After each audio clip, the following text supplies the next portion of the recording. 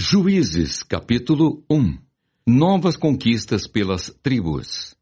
Depois da morte de Josué, os filhos de Israel consultaram o Senhor, dizendo: Quem dentre nós primeiro subirá aos cananeus para pelejar contra eles?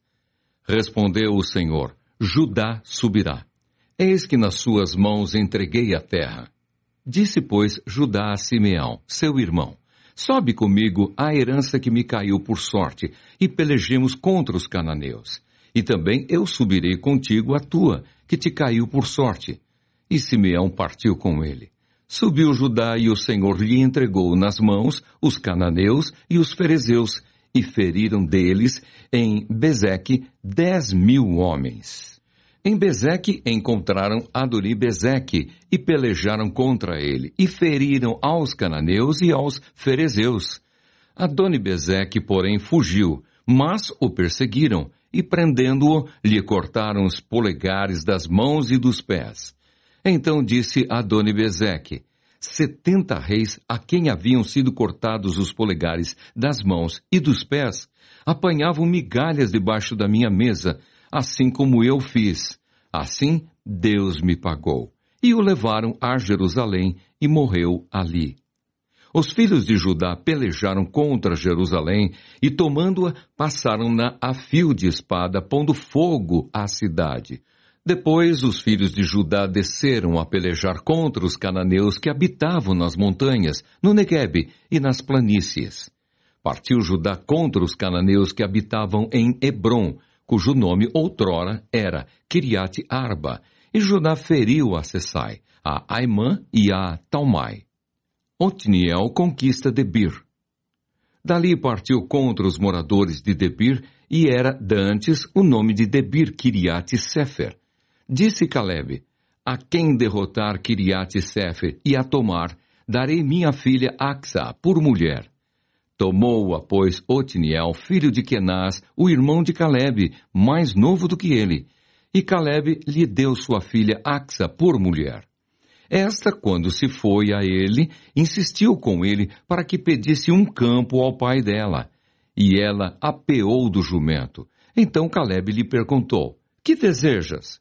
Respondeu ela: Dá-me um presente. Deste-me terra seca, dá-me também fontes de água. Então Caleb lhe deu as fontes superiores e as fontes inferiores. Outras conquistas. Os filhos do Queneu, sogro de Moisés, subiram com os filhos de Judá da cidade das Palmeiras ao deserto de Judá, que está ao sul de Arade. Foram e habitaram com este povo. Foi-se, pois, Judá com Simeão, seu irmão, e feriram aos cananeus que habitavam em Zefate, e totalmente a destruíram. Por isso lhe chamaram Orma.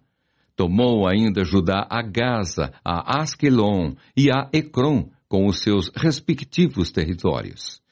Esteve o Senhor com Judá, e este despovoou as montanhas, porém não expulsou os moradores do vale, porquanto tinham carros de ferro. E como Moisés o dissera, deram Hebron a Caleb, e este expulsou dali os três filhos de Anak. Porém, os filhos de Benjamim não expulsaram os Jebuseus, que habitavam em Jerusalém. Antes, os Jebuseus habitam com os filhos de Benjamim em Jerusalém até ao dia de hoje. Subiu também a casa de José contra Betel, e o Senhor era com eles. A casa de José enviou homens a espiar Betel, cujo nome dantes era Luz. Vendo os espias um homem que saía da cidade, lhe disseram: Mostra-nos a entrada da cidade e usaremos de misericórdia para contigo. Mostrando-lhes ele a entrada da cidade, feriram a cidade a fio de espada. Porém, aquele homem e a toda a sua família deixaram ir.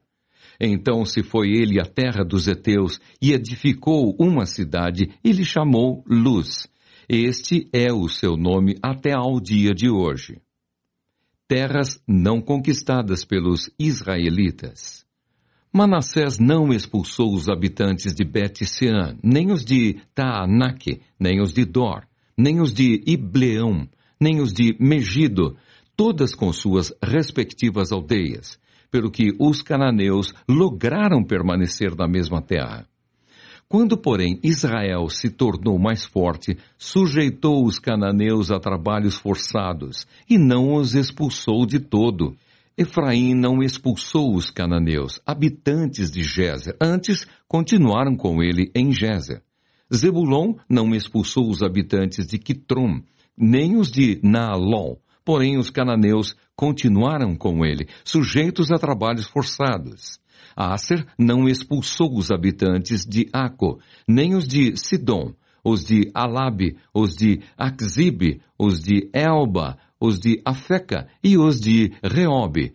Porém, os asseritas continuaram no meio dos cananeus que habitavam na terra, porquanto os não expulsaram. Naphtali não expulsou os habitantes de Bet-Semes, nem os de Bet-Anate, mas continuou no meio dos cananeus que habitavam na terra. Porém, os de Bet-Semes e Bet-Anate lhe foram sujeitos a trabalhos forçados. Os amorreus arredaram os filhos de Dan até as montanhas e não os deixavam descer ao vale. Porém, os amorreus lograram habitar nas montanhas de Eres, em Aijalon e em Saalabim. Contudo, a mão da casa de José prevaleceu e foram sujeitos a trabalhos forçados.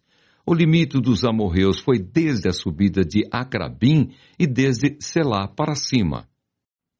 Juízes capítulo 2 Deus repreende os israelitas.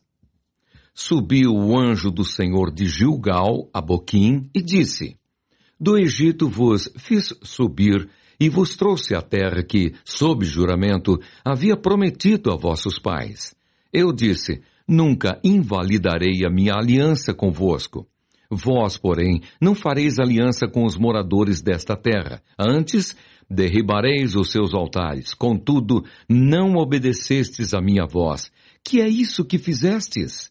Pelo que também eu disse: Não os expulsarei de diante de vós. Antes, vos serão por adversários, e os seus deuses vos serão laços.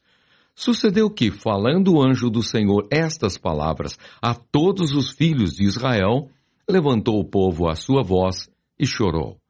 Daí chamarem a esse lugar Boquim, e sacrificaram ali ao Senhor. A morte de Josué. Havendo Josué despedido o povo, foram-se os filhos de Israel, cada um a sua herança, para possuírem a terra. Serviu o povo ao Senhor todos os dias de Josué e todos os dias dos anciãos que ainda sobreviveram por muito tempo depois de Josué e que viram todas as grandes obras feitas pelo Senhor a Israel.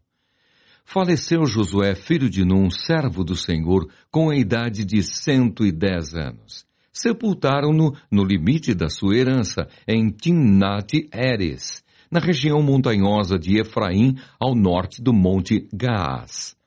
Foi também congregada a seus pais toda aquela geração, e outra geração após eles se levantou, que não conhecia o Senhor, nem tampouco as obras que fizera a Israel. Então fizeram os filhos de Israel o que era mal perante o Senhor, pois serviram aos Baalins. Deixaram o Senhor, Deus de seus pais, que os tirara da terra do Egito, e foram-se após outros deuses, dentre os deuses das gentes que havia ao redor deles, e os adoraram, e provocaram o Senhor a ira porquanto deixaram o Senhor e serviram a Baal e a Astarote pelo que a ira do Senhor se acendeu contra Israel e os deu na mão dos espoliadores, que os pilharam, e os entregou na mão dos seus inimigos ao redor, e não mais puderam resistir a eles. Por onde quer que saíam, a mão do Senhor era contra eles para seu mal, como o Senhor lhes dissera e jurara, e estavam em grande aperto suscitou o Senhor juízes que os livraram da mão dos que os pilharam. Contudo, não obedeceram aos seus juízes. Antes se prostituíram após outros deuses e os adoraram. Depressa se desviaram do caminho por onde andaram seus pais na obediência dos mandamentos do Senhor, e não fizeram como eles. Quando o Senhor lhes suscitava juízes, o Senhor era com o juiz e os livrava da mão dos seus inimigos todos os dias daquele juiz. Porquanto o Senhor se compadecia deles ante os seus gemidos, por causa dos que os apertavam e oprimiam. Sucedia, porém, que, falecendo o juiz, reincidiam e se tornavam piores do que seus pais, seguindo após outros deuses, servindo-os e adorando-os eles. Nada deixavam das suas obras, nem da obstinação dos seus caminhos. Pelo que a ira do Senhor se acendeu contra Israel, e disse: Porquanto este povo transgrediu a minha aliança que eu ordenara a seus pais, e não deu ouvidos à minha voz, também eu não expulsarei mais de diante dele nenhuma das nações que Josué deixou quando morreu, para por elas pôr Israel à prova, se guardará ou não o caminho do Senhor, como seus pais o guardaram. Assim o Senhor deixou ficar aquelas nações e não as expulsou logo, nem as entregou na mão de Josué. Juízes capítulo 3 Povos pagãos no meio de Israel. São estas as nações que o Senhor deixou para, por elas, provar a Israel, isto é, provar quantos em Israel não sabiam de todas as guerras de Canaã. Isso tão somente para que as gerações dos filhos de Israel delas soubessem para lhes ensinar a guerra, pelo menos as gerações que dantes não sabiam disso. Cinco príncipes dos filisteus e todos os cananeus e sidônios e heveus que habitavam as montanhas do Líbano, desde o monte de Baal-Hermon até a entrada de Amate. Estes ficaram para, por eles, o Senhor por Israel à prova, para saber se dariam ouvidos aos mandamentos que havia ordenado a seus pais por intermédio de Moisés.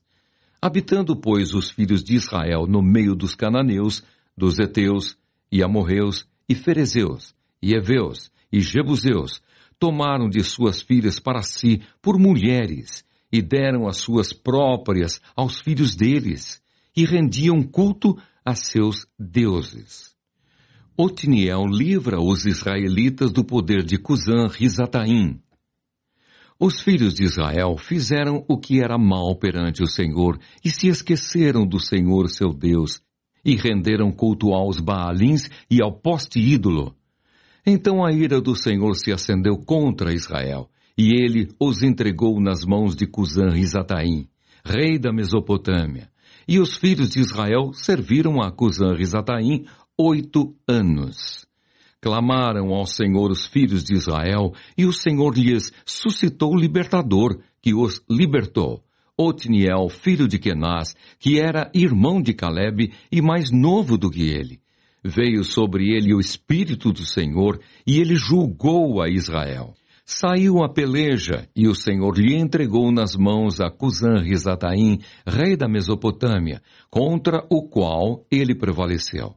Então a terra ficou em paz durante quarenta anos. Otniel, filho de Kenaz, faleceu. Servidão sob Eglon. Tornaram então os filhos de Israel a fazer o que era mal perante o Senhor.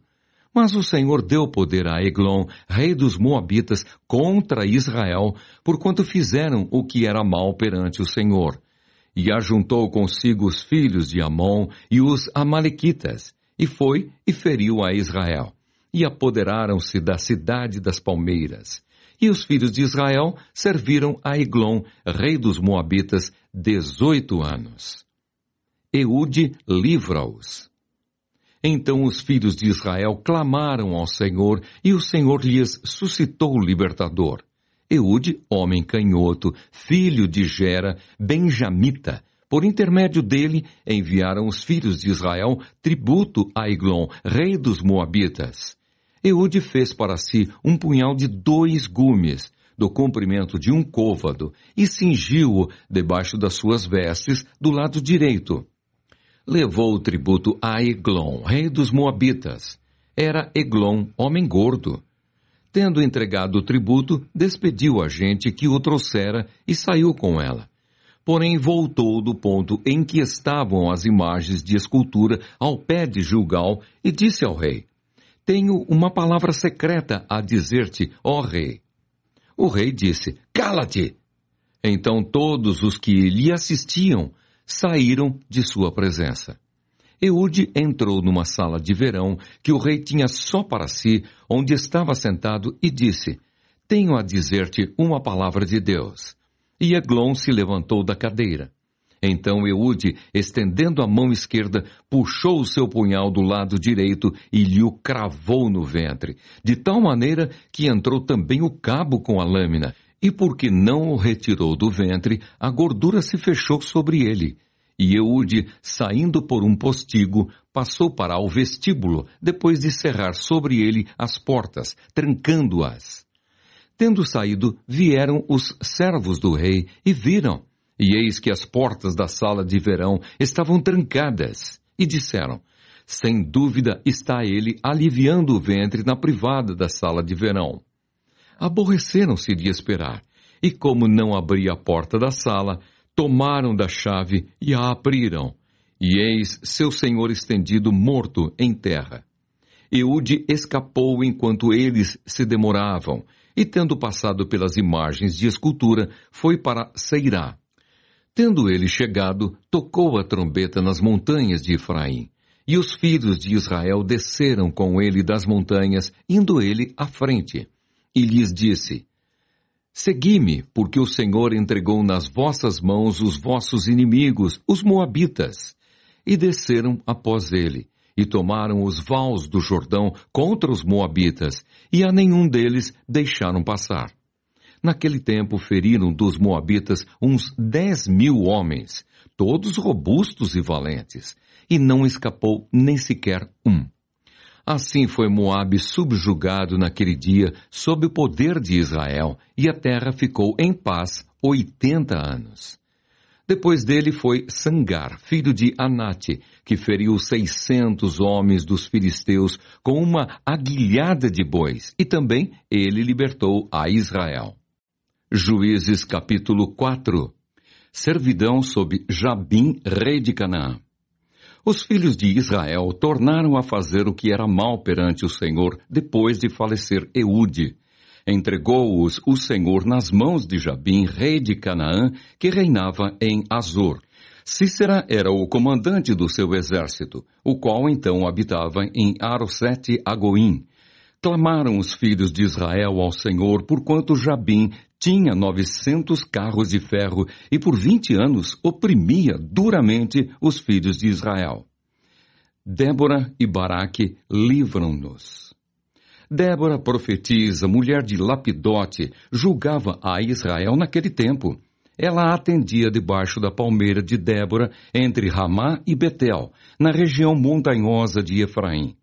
E os filhos de Israel subiam a ela a juízo mandou ela chamar a Baraque, filho de Abinoão, de Quedes de Naphtali, e disse-lhe, Porventura o Senhor, Deus de Israel, não deu ordem, dizendo, Vai e leva a gente ao monte Tabor, e toma contigo dez mil homens dos filhos de Naphtali e dos filhos de Zebulon? E farei ir a ti para o ribeiro Quisson, a Cícera, comandante do exército de Jabim, com os seus carros e as suas tropas e o darei nas tuas mãos. Então lhe disse Baraque: Se fores comigo, irei. Porém, se não fores comigo, não irei. Ela respondeu: Certamente irei contigo, porém não será tua a honra da investida que empreendes. Pois as mãos de uma mulher o Senhor entregará a Cícera. E saiu Débora e se foi com Baraque para Quedes. Então Baraque convocou a Zebulon e a Naphtali em Quedes, e com ele subiram dez mil homens, e Débora também subiu com ele. Ora, Éber, queneu, se tinha apartado dos queneus, dos filhos de Obabe, sogro de Moisés, e havia armado as suas tendas até ao carvalho de Zaananim, que está junto a Quedes. Anunciaram a Cícera que Baraque, filho de Abinuão, tinha subido ao monte Tabor. Cícera convocou todos os seus carros, novecentos carros de ferro, e todo o povo que estava com ele, de Arosete a Goim para o ribeiro Quisson. Então disse Débora a Baraque: Dispõe-te, porque este é o dia em que o Senhor entregou a Cícera nas tuas mãos. Porventura o Senhor não saiu adiante de ti? Baraque, pois, desceu do monte Tabor e dez mil homens após ele.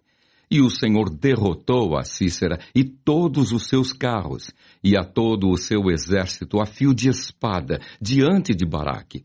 E Cícera saltou do carro e fugiu a pé.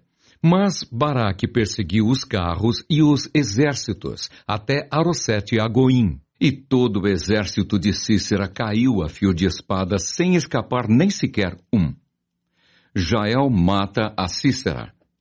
Porém Cícera fugiu a pé para a tenda de Jael, mulher de Eber, queneu, porquanto havia paz entre Jabim, rei de Azor, e a casa de Eber, queneu. Saindo Jael ao encontro de Cícera, disse-lhe, Entra, senhor meu, entra na minha tenda, não temas. Retirou-se para sua tenda e ela pôs sobre ele uma coberta. Então ele lhe disse, Dá-me, peço-te, de beber um pouco de água, porque tenho sede. Ela abriu um odre de leite e deu-lhe de beber, e o cobriu. E ele lhe disse mais: Põe-te à porta da tenda, e há de ser que, se vier alguém e te perguntar: Há aqui alguém? Responde: Não.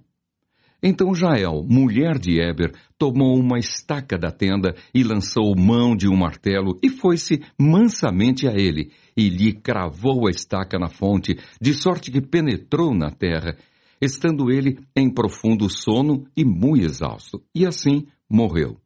E eis que, perseguindo Baraque a Cícera, Jael lhe saiu ao encontro e lhe disse: Vem e mostrar-te-ei o homem que procuras. Ele a seguiu, e eis que Cícera jazia morto e a estaca na fonte. Assim Deus, naquele dia, humilhou a Jabim, rei de Canaã, diante dos filhos de Israel. E cada vez mais a mão dos filhos de Israel prevalecia contra Jabim, rei de Canaã, até que o exterminaram. Juízes capítulo 5 o cântico de Débora. Naquele dia cantaram Débora e Baraque, filho de Abinuão, dizendo: Desde que os chefes se puseram à frente de Israel e o povo se ofereceu voluntariamente, bendizei ao Senhor. Ouvi, reis, dai ouvidos, príncipes. Eu, eu mesma cantarei ao Senhor. Salmodiarei ao Senhor, Deus de Israel. Saindo tu, ó Senhor, de Seir, marchando desde o campo de Edom, a terra estremeceu. Os céus gotejaram, sim, até as nuvens gotejaram águas. Os montes vacilaram diante do Senhor e até o Sinai, diante do Senhor, Deus de Israel. Nos dias de Sangar, filho de Anate, nos dias de Jael, cessaram as caravanas, e os viajantes tomavam desvios tortuosos. Ficaram desertas as aldeias em Israel, repousaram, até que eu, Débora, me levantei. Levantei-me por mãe em Israel. Escolheram-se deuses novos. Então a guerra estava às portas. Não se via escudo nem lança entre quarenta mil em Israel. Meu coração se inclina para os comandantes de Israel que voluntariamente se ofereceram entre o povo. Bendizei ao Senhor. Vós os que cavalgais jumentas brancas, que vos assentais em juízo e que andais pelo caminho, falai disto. A música dos distribuidores de água, lá entre os canais dos rebanhos, falai dos atos de justiça do Senhor, das justiças a prol de suas aldeias em Israel. Então o povo do Senhor pôde descer ao seu lar. Desperta, Débora, desperta, Desperta, acorda, entoa um cântico. Levanta-te, Baraque, e leva presos os que te prenderam, tu, filho de Abinoão. Então desceu o restante dos nobres, o povo do Senhor, em meu auxílio contra os poderosos. De Efraim, cujas raízes estão na antiga região de Amaleque, desceram guerreiros. Depois de ti, ó Débora, seguiu Benjamim com seus povos. De Maquir desceram comandantes, e de Zebulon os que levam a vara de comando. Também os príncipes de Issacar foram com Débora. Issacar seguiu a Baraque, em cujas pegadas foi enviado para o vale. Entre as facções de Ruben houve grande discussão. Por que ficaste entre os currais para ouvires a flauta? Entre as facções de Ruben houve grande discussão. Gileade ficou da além do Jordão, e Dan, por que se deteve junto a seus navios? Acer se assentou nas costas do mar e repousou nas suas baías. Zebulon é povo que expôs a sua vida à morte, como também Naphtali, nas alturas do campo. Vieram reis e pelejaram. Pelejaram os reis de Canaã, em Taanaque, junto às águas de Megido. Porém, não levaram nenhum despojo de prata. Desde os céus pelejaram as estrelas contra Cícera, desde a sua órbita o fizeram. O ribeiro Quisson os arrastou, Quisson, o ribeiro das batalhas. Avante, ó minha alma, firme! Então as unhas dos cavalos socavam pelo galopar, o galopar dos seus guerreiros.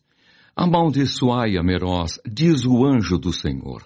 Amaldiçoai duramente os seus moradores, porque não vieram em socorro do Senhor, em socorro do Senhor e seus heróis. Bendita seja sobre as mulheres, Jael, mulher de Éber, o queneu. Bendita seja sobre as mulheres que vivem em tendas. Água pediu ele, leite lhe deu ela. Em taça de príncipes lhe ofereceu nata. A estaca estendeu a mão, e ao maço dos trabalhadores à direita. E deu o golpe em Cícera. Rachou-lhe a cabeça, furou e traspassou-lhe as fontes. Aos pés dela se encurvou, saiu e ficou estirado. A seus pés se encurvou e caiu. Onde se encurvou, ali caiu morto. A mãe de Cícera olhava pela janela e exclamava pela grade: Por que tarda em vir o seu carro? Por que se demoram os passos dos seus cavalos? As mais sábias das suas damas respondem, e até ela a si mesma respondia: porventura não achariam e repartiriam despojos? Uma ou duas moças a cada homem? Para Cícera, estofos de várias cores, estofos de várias cores de bordados. Um ou dois estofos bordados para o pescoço da esposa.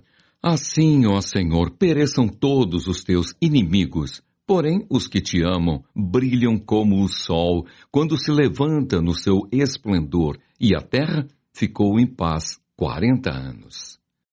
Juízes capítulo 6 A opressão dos midianitas. Fizeram os filhos de Israel o que era mal perante o Senhor. Por isso, o Senhor os entregou nas mãos dos midianitas por sete anos.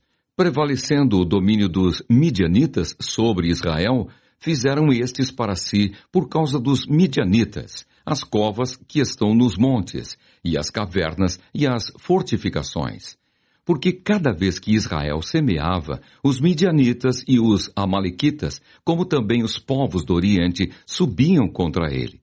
E contra ele se acampavam, destruindo os produtos da terra até a vizinhança de Gaza, e não deixavam em Israel sustento algum, nem ovelhas, nem bois, nem jumentos, pois subiam com os seus gados e tendas e vinham como gafanhotos em tanta multidão que não se podiam contar, nem a eles nem aos seus camelos, e entravam na terra para a destruir.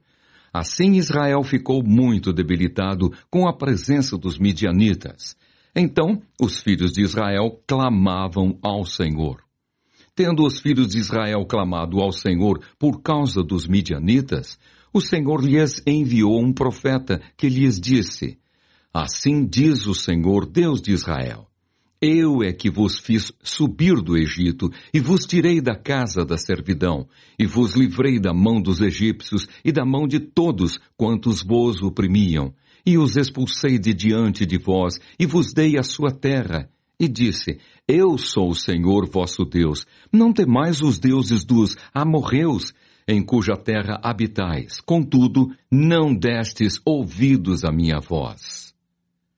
O chamamento de Gideão então veio o anjo do Senhor e assentou-se debaixo do carvalho que está em Ofra, que pertencia a Joás, a Bies-Rita. E Gideão, seu filho, estava malhando o trigo no lagar, para o pôr a salvo dos midianitas. Então o anjo do Senhor lhe apareceu e lhe disse: O Senhor é contigo, homem valente. Respondeu-lhe Gideão: Ai, Senhor meu, se o Senhor é conosco, por que nos sobreveio tudo isto? E que é feito de todas as suas maravilhas que nossos pais nos contaram, dizendo: Não nos fez o Senhor subir do Egito? Porém agora o Senhor nos desamparou e nos entregou nas mãos dos midianitas. Então se virou o Senhor para ele e disse: Vai nessa tua força e livra Israel da mão dos midianitas. Porventura não te enviei eu? E ele lhe disse: Ai, Senhor meu, com que livrarei Israel? Eis que a minha família é a mais pobre em Manassés e eu, o menor na casa de meu pai. Tornou-lhe o Senhor: Já que eu estou contigo, ferirás os midianitas como se fossem um só homem.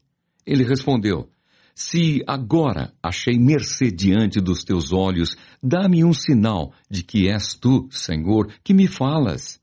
Rogo-te que daqui não te apartes, até que eu volte e traga a minha oferta, e a deponha perante ti. Respondeu ele: Esperarei até que voltes. Entrou Gideão e preparou um cabrito e bolos asmos de um efa de farinha. A carne pôs num cesto e o caldo numa panela, e trouxe-lhe até debaixo do carvalho e lhe apresentou. Porém o anjo de Deus lhe disse: Toma a carne e os bolos asmos, põe-nos sobre esta penha e derrama-lhes por cima o caldo. E assim o fez. Estendeu o anjo do Senhor a ponta do cajado que trazia na mão e tocou a carne e os bolos asmos. Então subiu fogo da penha e consumiu a carne e os bolos. E o anjo do Senhor desapareceu de sua presença. Viu Gideão que era o anjo do Senhor e disse: Ai de mim, Senhor Deus, pois vi o anjo do Senhor face a face. Porém o Senhor lhe disse: Paz seja contigo, não temas não morrerás. Então Gideão edificou ali um altar ao Senhor e lhe chamou de O Senhor é Paz. Ainda até ao dia de hoje está o altar em Ofra, que pertence aos Abias Ritas. Gideão destrói o altar de Baal. Naquela mesma noite lhe disse o Senhor: Toma um boi que pertence a teu pai, a saber, o segundo boi de sete anos, e derriba o altar de Baal, que é de teu pai, e corta o poste ídolo que está junto ao altar. Edifica ao Senhor teu Deus um altar no cimo deste baluarte, em camadas de pedra, e toma o segundo boi e o oferecerás em holocausto com a lenha do poste ídolo que vieres a cortar. Então Gideão tomou dez homens entre os seus servos e fez como o Senhor lhe dissera.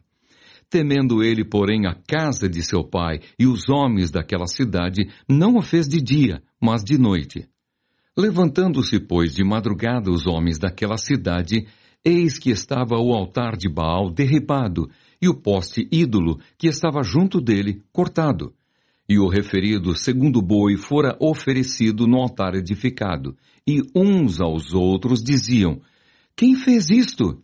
E perguntando e inquirindo, disseram: Gideão, o filho de Joás, fez esta coisa. Então os homens daquela cidade disseram a Joás: Leva para fora o teu filho, para que morra, pois derribou o altar de Baal e cortou o poste ídolo que estava junto dele. Porém, Joás disse a todos os que se puseram contra ele: Contendereis vós por Baal? Livrá-lo-eis vós? Qualquer que por ele contender, ainda esta manhã, será morto. Se é Deus que por si mesmo contenda, pois derribaram o seu altar. Naquele dia, Gedeão passou a ser chamado Jerubaal, porque foi dito: Baal contenda contra ele, pois ele derribou o seu altar. E todos os midianitas e amalequitas e povos do Oriente se ajuntaram e passaram, e se acamparam no vale de Jezreel. Então o Espírito do Senhor revestiu a Gideão, o qual tocou a rebate, e os Abias-ritas se ajuntaram após dele enviou mensageiros por toda a tribo de Manassés, que também foi convocada para o seguir. Enviou ainda mensageiros a Aser e a Zebulon e a Naphtali e saíram para encontrar-se com ele. Disse Gideão a Deus: Se has de livrar a Israel por meu intermédio, como disseste, eis que eu porei uma porção de lã na eira, se o orvalho estiver somente nela, e seca a terra ao redor. Então conhecerei que hás de livrar Israel por meu intermédio, como disseste. E assim sucedeu, porque ao outro dia se levantou de madrugada e, apertando a lã do orvalho dela, espremeu uma taça cheia de água. Disse mais Gideão: Não se acenda contra mim a tua ira, se ainda falar só esta vez. Rogo-te que mais esta vez faça eu a prova com a lã, que só a lã esteja seca e na terra ao redor haja orvalho e Deus assim o fez naquela noite, pois só a lã estava seca, e sobre a terra ao redor havia orvalho. Juízes capítulo 7 Gideão, com trezentos homens, vence os midianitas. Então Jerubaal, que é Gideão, se levantou de madrugada e todo o povo que com ele estava e se acamparam junto à fonte de Arode, de maneira que o arraial dos midianitas lhe ficava para o norte, no vale, defronte do outeiro de Moré. Disse o Senhor a Gideão: É demais o povo que está contigo para eu entregar os midianitas nas suas mãos. Israel poderia se gloriar contra mim, dizendo: A minha própria mão me livrou. Apregou-a, pois, aos ouvidos do povo, dizendo: quem for tímido e medroso, volte e retire-se da região montanhosa de Gileade. Então voltaram do povo vinte e dois mil e dez mil ficaram. Disse mais o Senhor a Gideão: Ainda há povo demais. Faze-os descer às águas, e ali tos provarei. Aquele de quem eu te disser, este irá contigo, esse contigo irá. Porém, todo aquele de quem eu te disser, este não irá contigo, esse não irá. Fez Gideão descer os homens às águas. Então o Senhor lhe disse: Todo que lamber a água com a língua, como faz o cão, esse porás à parte, como também a todo aquele que se abaixar de joelhos a beber. Foi o número dos que lamberam, levando a mão à boca, trezentos homens. E todo o restante do povo se abaixou de joelhos a beber a água. Então disse o Senhor a Gedeão: Com estes trezentos homens que lamberam a água, eu vos livrarei, e entregarei os midianitas nas tuas mãos, pelo que a outra gente toda que se retire, cada um para o seu lugar. Tomou o povo provisões nas mãos e as trombetas. Gideão enviou todos os homens de Israel, cada um à sua tenda, porém os trezentos homens reteve consigo estava o arraial dos midianitas abaixo dele no vale.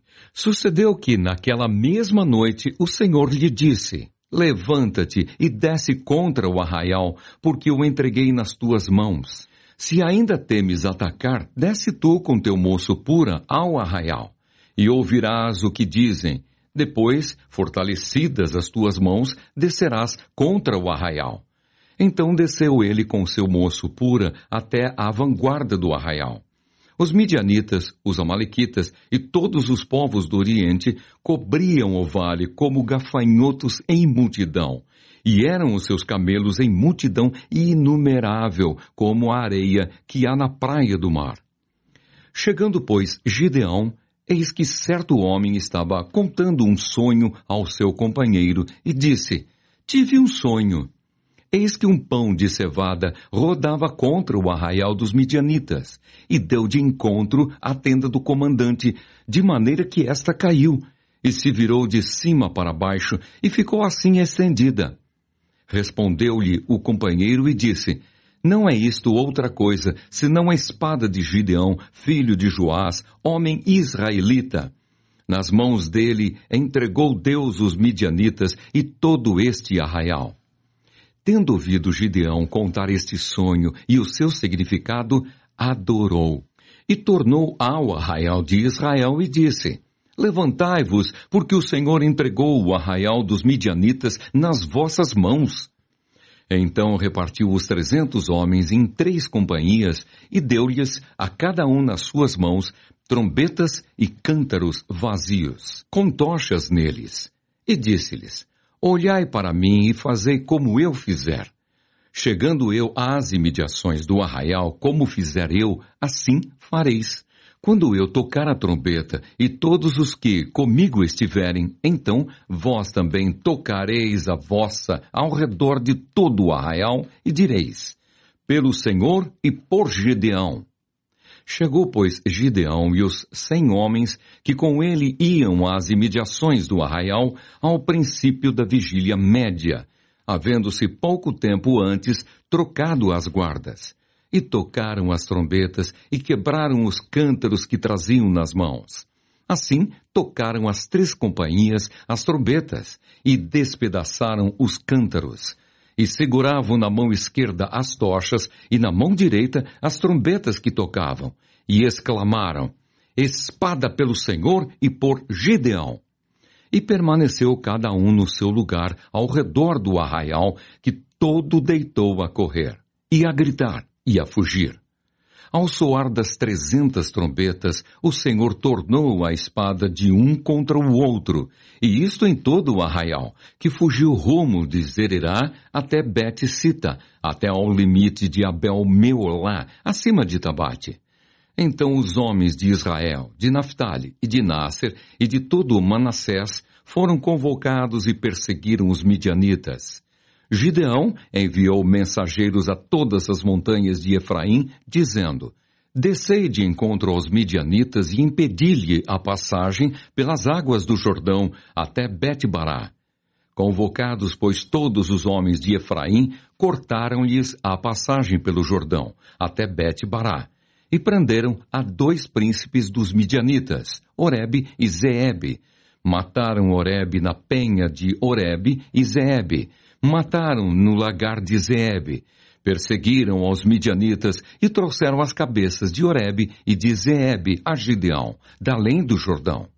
Juízes capítulo 8 Gideão aplaca os efraimitas e mata os reis dos midianitas. Então os homens de Efraim disseram a Gideão, que é isto que nos fizeste, que não nos chamaste quando foste pelejar contra os midianitas? E contenderam fortemente com ele. Porém, ele lhes disse: Que mais fiz eu agora do que vós? Não são, porventura, os rabiscos de Efraim melhores do que a vindima de Abiezer? Deus entregou nas vossas mãos os príncipes dos midianitas, Oreb e Zeeb. Que pude eu fazer comparável com o que fizestes? Então, com falar-lhes esta palavra, abrandou-se-lhes a ira para com ele. Vindo Gideão ao Jordão, passou com os trezentos homens que com ele estavam, cansados, mas ainda perseguindo.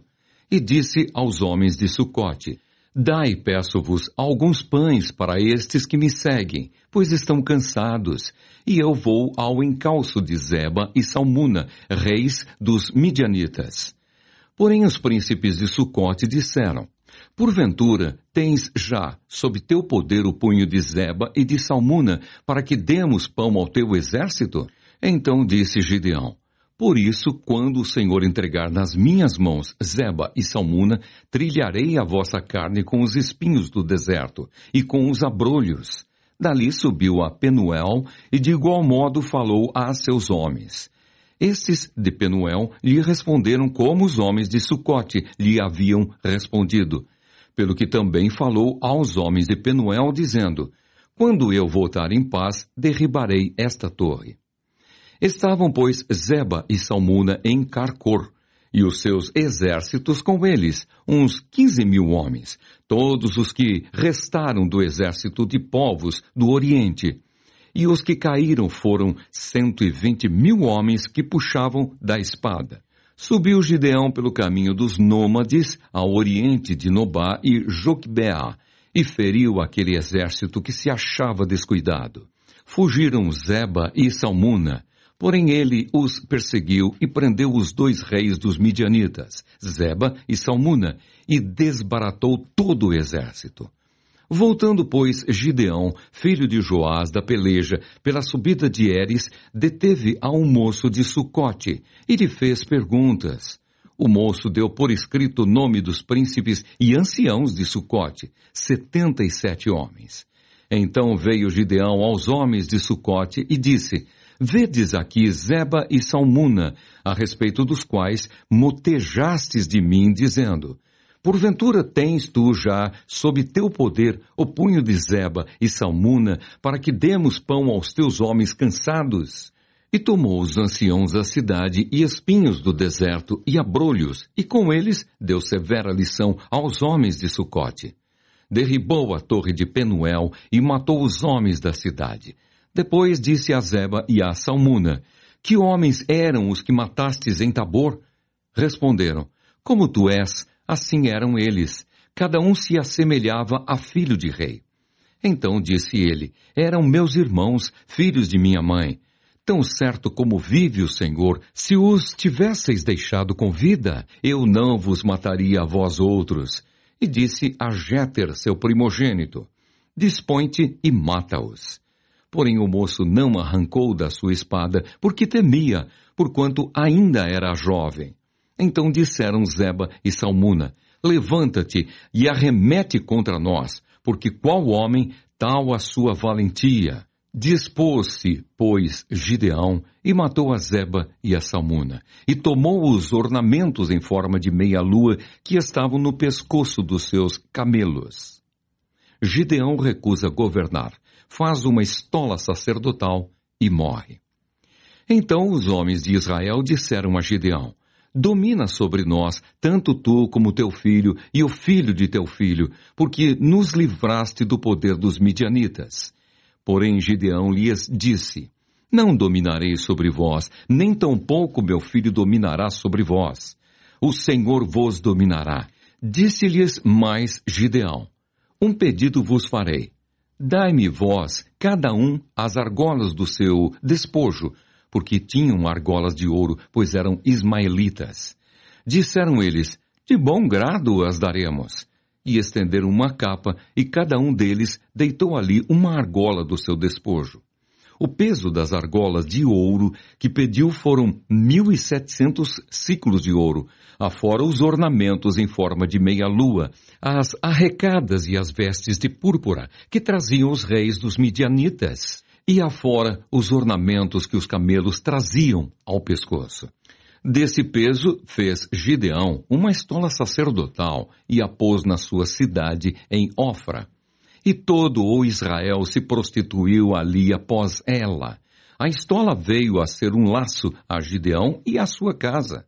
Assim foram abatidos os midianitas diante dos filhos de Israel e nunca mais levantaram a cabeça e ficou a terra em paz durante quarenta anos nos dias de Gideão. Retirou-se Jerubaal, filho de Joás, e habitou em sua casa.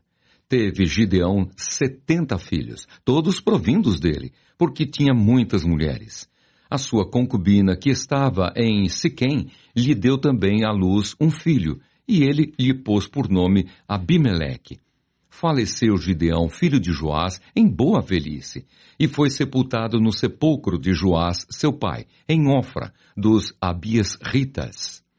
Morto Gideão, tornaram a prostituir-se os filhos de Israel após os Baalins e puseram Baal Berite por Deus.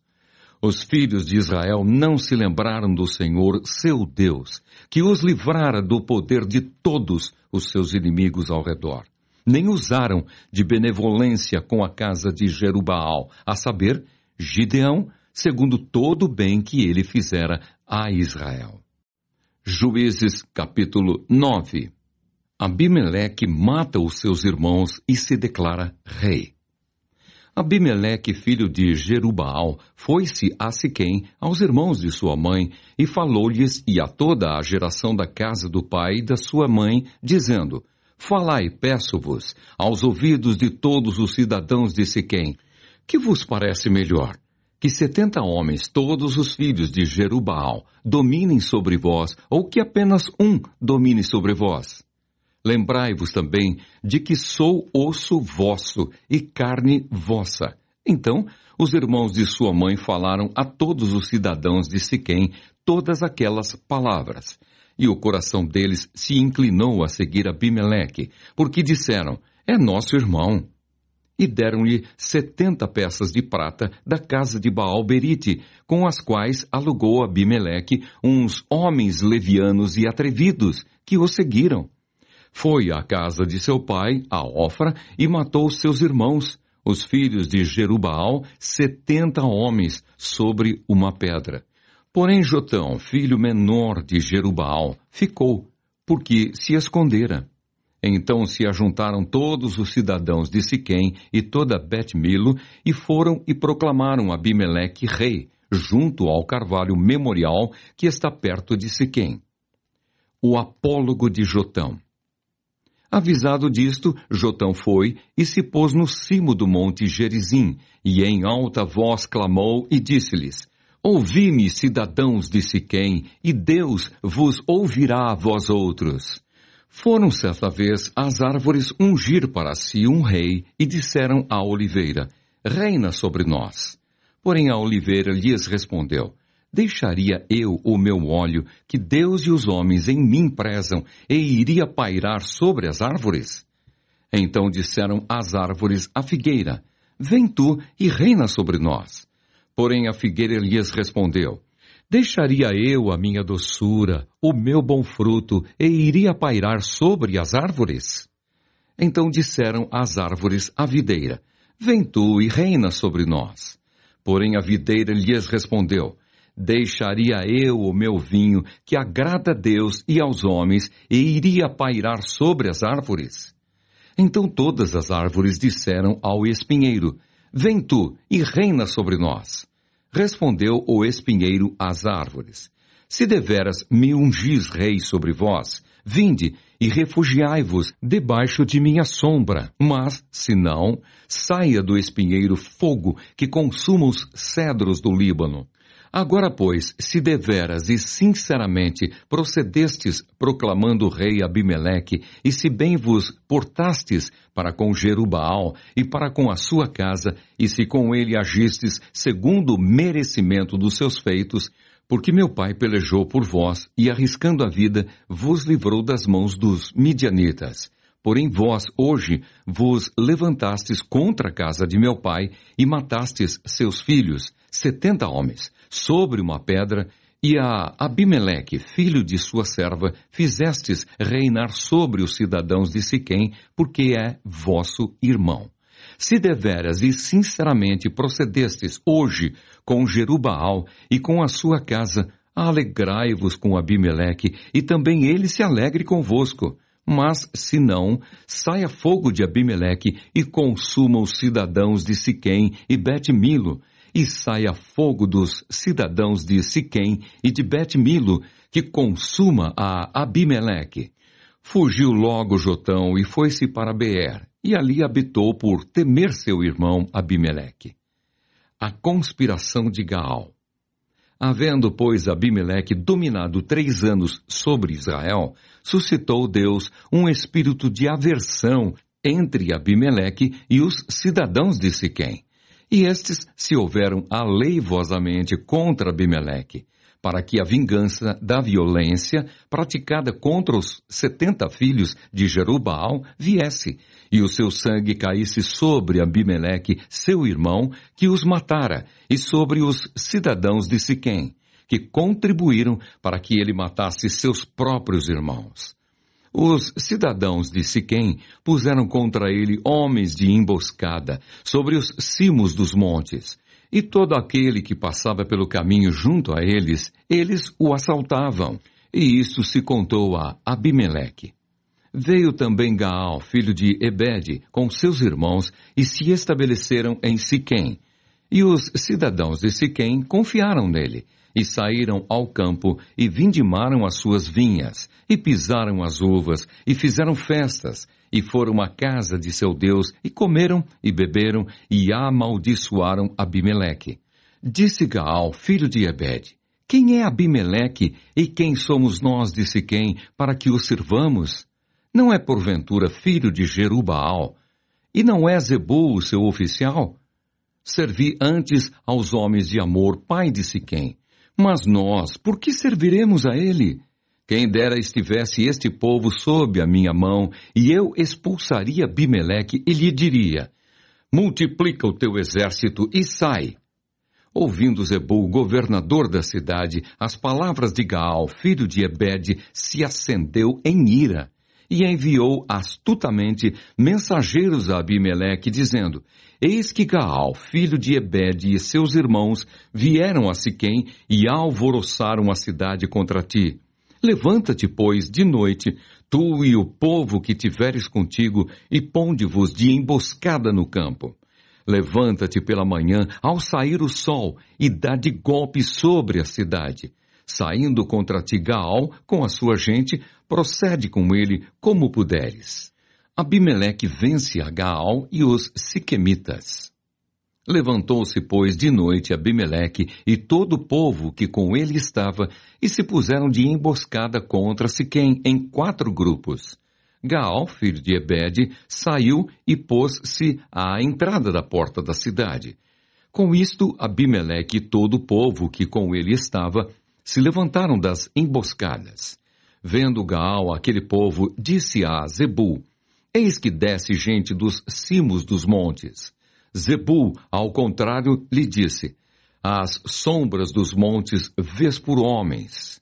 Porém Gaal tornou ainda a falar e disse: Eis ali desce gente de frente de nós, e uma tropa vem do caminho do carvalho, dos adivinhadores. Então lhe disse Zebul: Onde está agora a tua boca, com a qual dizias: Quem é Abimeleque para que o sirvamos? Não é este, porventura, o povo que desprezaste?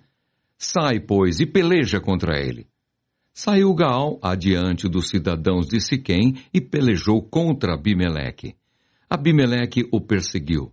Gaal fugiu de diante dele e muitos feridos caíram até a entrada da porta da cidade. Abimeleque ficou em Arumá.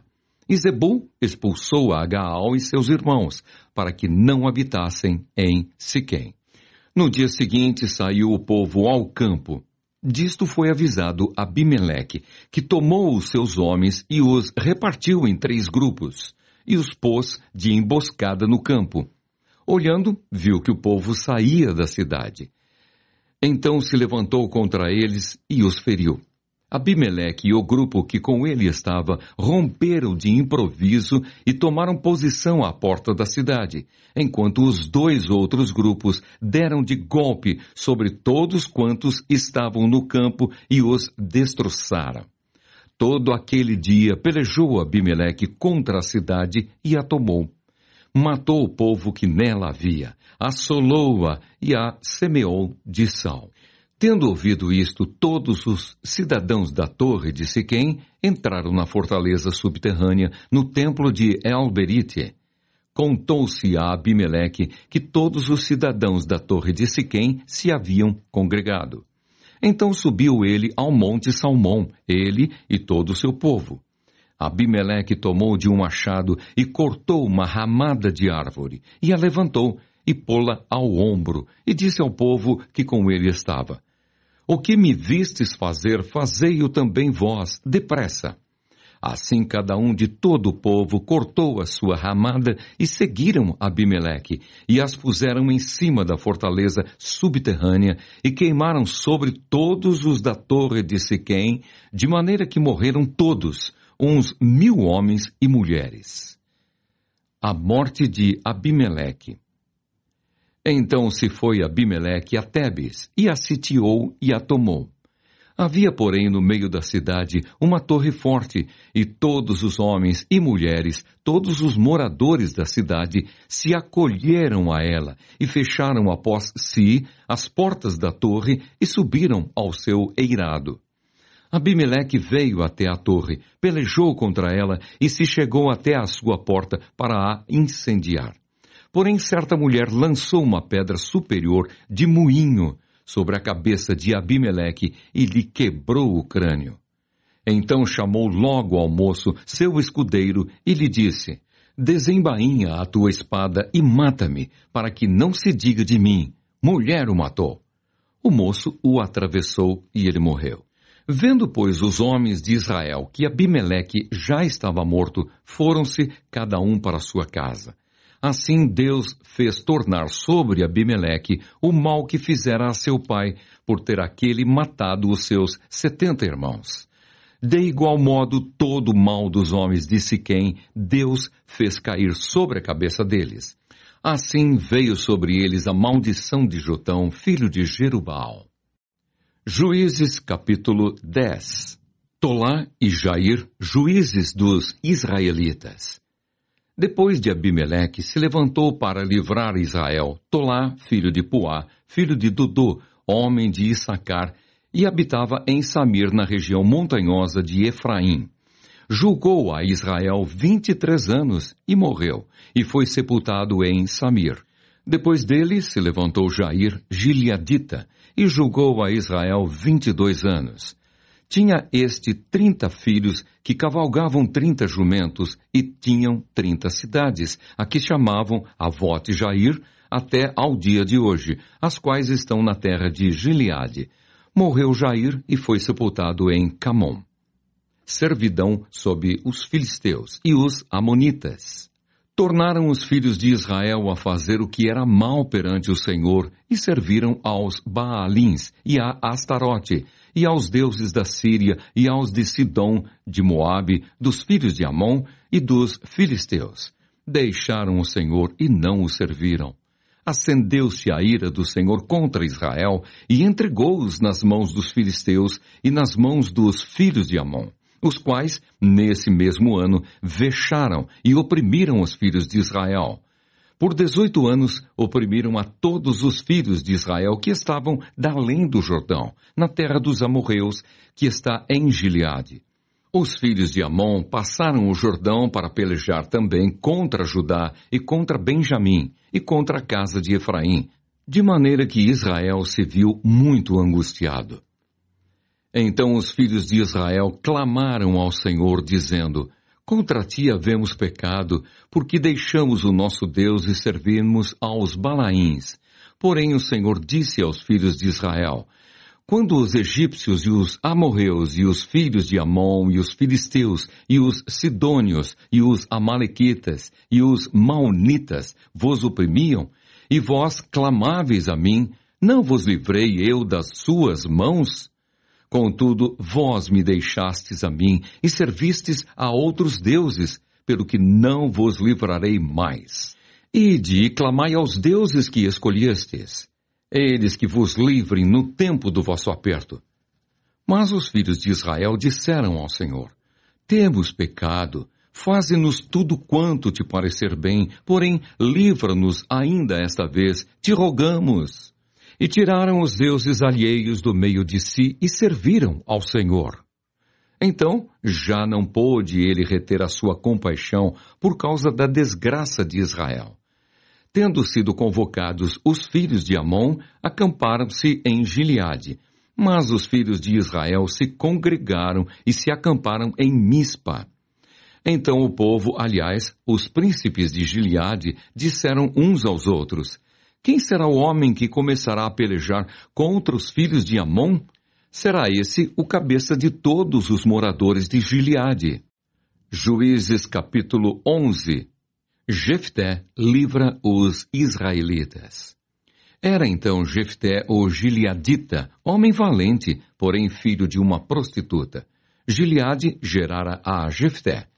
Também a mulher de Gileade lhe deu filhos, os quais, quando já grandes, expulsaram Jefté e lhe disseram: Não herdarás em casa de nosso pai, porque és filho doutra mulher. Então Jefté fugiu da presença de seus irmãos e habitou na terra de Tobi. E homens levianos se ajuntaram com ele e com ele saíam. Passado algum tempo, pelejaram os filhos de Amon contra Israel. Quando pelejavam, foram os anciãos de Gileade buscar Jefté da terra de Tobi. E disseram a Jefté, Vem e sê nosso chefe, para que combatamos contra os filhos de Amon. Porém, Jefté disse aos anciãos de Gileade, Porventura não me aborrecestes a mim e não me expulsastes da casa de meu pai? Por que, pois, vindes a mim agora, quando estáis em aperto? Responderam os anciãos de Gileade a Jefté. Por isso mesmo, tornamos a ti. Vem, pois, conosco e combate contra os filhos de Amon, e sê o nosso chefe sobre todos os moradores de Gileade. Então Jefté perguntou aos anciãos de Gileade, se me tornardes a levar para combater contra os filhos de Amon, e o Senhor mos der a mim, então eu vos serei por cabeça? Responderam os anciãos de Gileade a Jefté, o Senhor será testemunha entre nós e nos castigará se não fizermos segundo a tua palavra. Então Jefté foi com os anciãos de Gileade e o povo o pôs por cabeça e chefe sobre si. E Jefté proferiu todas as suas palavras perante o Senhor em Mispa. Enviou Jefté mensageiros ao rei dos filhos de Amon, dizendo: Que há entre mim e ti, que vieste a mim a pelejar contra minha terra? Respondeu o rei dos filhos de Amon aos mensageiros de Jefté: É porque, subindo Israel do Egito, me tomou a terra desde Arnon até ao Jaboque, e ainda até ao Jordão. Restituí-ma agora pacificamente. Porém, Jefté tornou a enviar mensageiros ao rei dos filhos de Amon, dizendo-lhe: Assim diz Jefté: Israel não tomou nem a terra dos Moabitas, nem a terra dos filhos de Amon, porque subindo Israel do Egito, andou pelo deserto até ao Mar Vermelho e chegou a Cádiz. Então Israel enviou mensageiros ao rei dos Edomitas, dizendo: Rogo-te que me deixes passar pela tua terra. Porém o rei dos Edomitas não lhe deu ouvidos. A mesma coisa mandou Israel pedir ao rei dos Moabitas, o qual também não lhe quis atender. E assim Israel ficou em Cádiz. Depois andou pelo deserto e rodeou a terra dos Edomitas e a terra dos Moabitas. E chegou ao oriente da terra destes e se acampou além do Arnon. Por isso não entrou no território dos Moabitas, porque Arnon é o limite deles. Mas Israel enviou mensageiros a Seom, rei dos amorreus, rei de Esbom, e disse-lhe: Deixa-nos, peço-te, passar pela tua terra até ao meu lugar.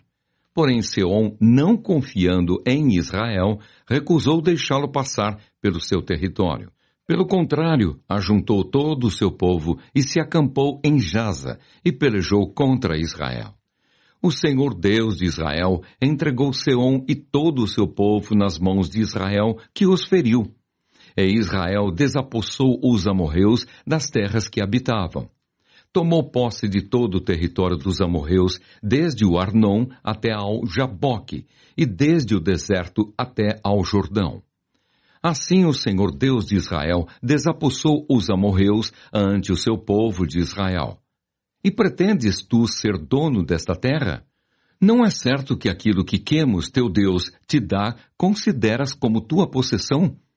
Assim possuiremos nós o território de todos quantos o Senhor, nosso Deus, expulsou de diante de nós. És tu melhor do que o filho de Zippor, Balaque, rei dos Moabitas? Porventura contendeu este em algum tempo com Israel, ou pelejou alguma vez contra ele? Enquanto Israel habitou trezentos anos em Esbom e nas suas vilas, e em Aroer e nas suas vilas, e em todas as cidades que estão ao longe do Arnon. Porque vós, Amonitas, não as recuperastes durante esse tempo? Não sou eu, portanto, quem pecou contra ti, porém tu fazes mal em pelejar contra mim. O Senhor, que é juiz, julgue hoje entre os filhos de Israel e os filhos de Amon. Porém, o rei dos filhos de Amon não deu ouvidos à mensagem que Jefté lhe enviara. O voto de Jefté.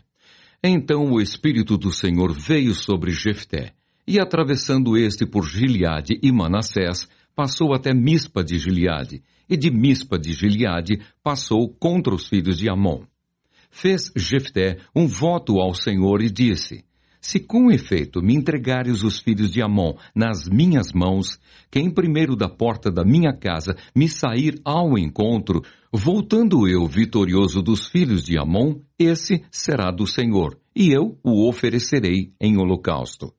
Assim Jefté foi de encontro aos filhos de Amon a combater contra eles, e o Senhor os entregou nas mãos de Jefté.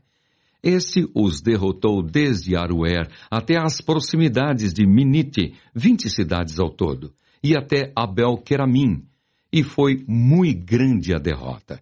Assim foram subjugados os filhos de Amon diante dos filhos de Israel. Vindo, pois, Jefté a Mispa à sua casa, saiu-lhe a filha ao seu encontro, com adufes e com danças. E era ela filha única. Não tinha ele outro filho nem filha.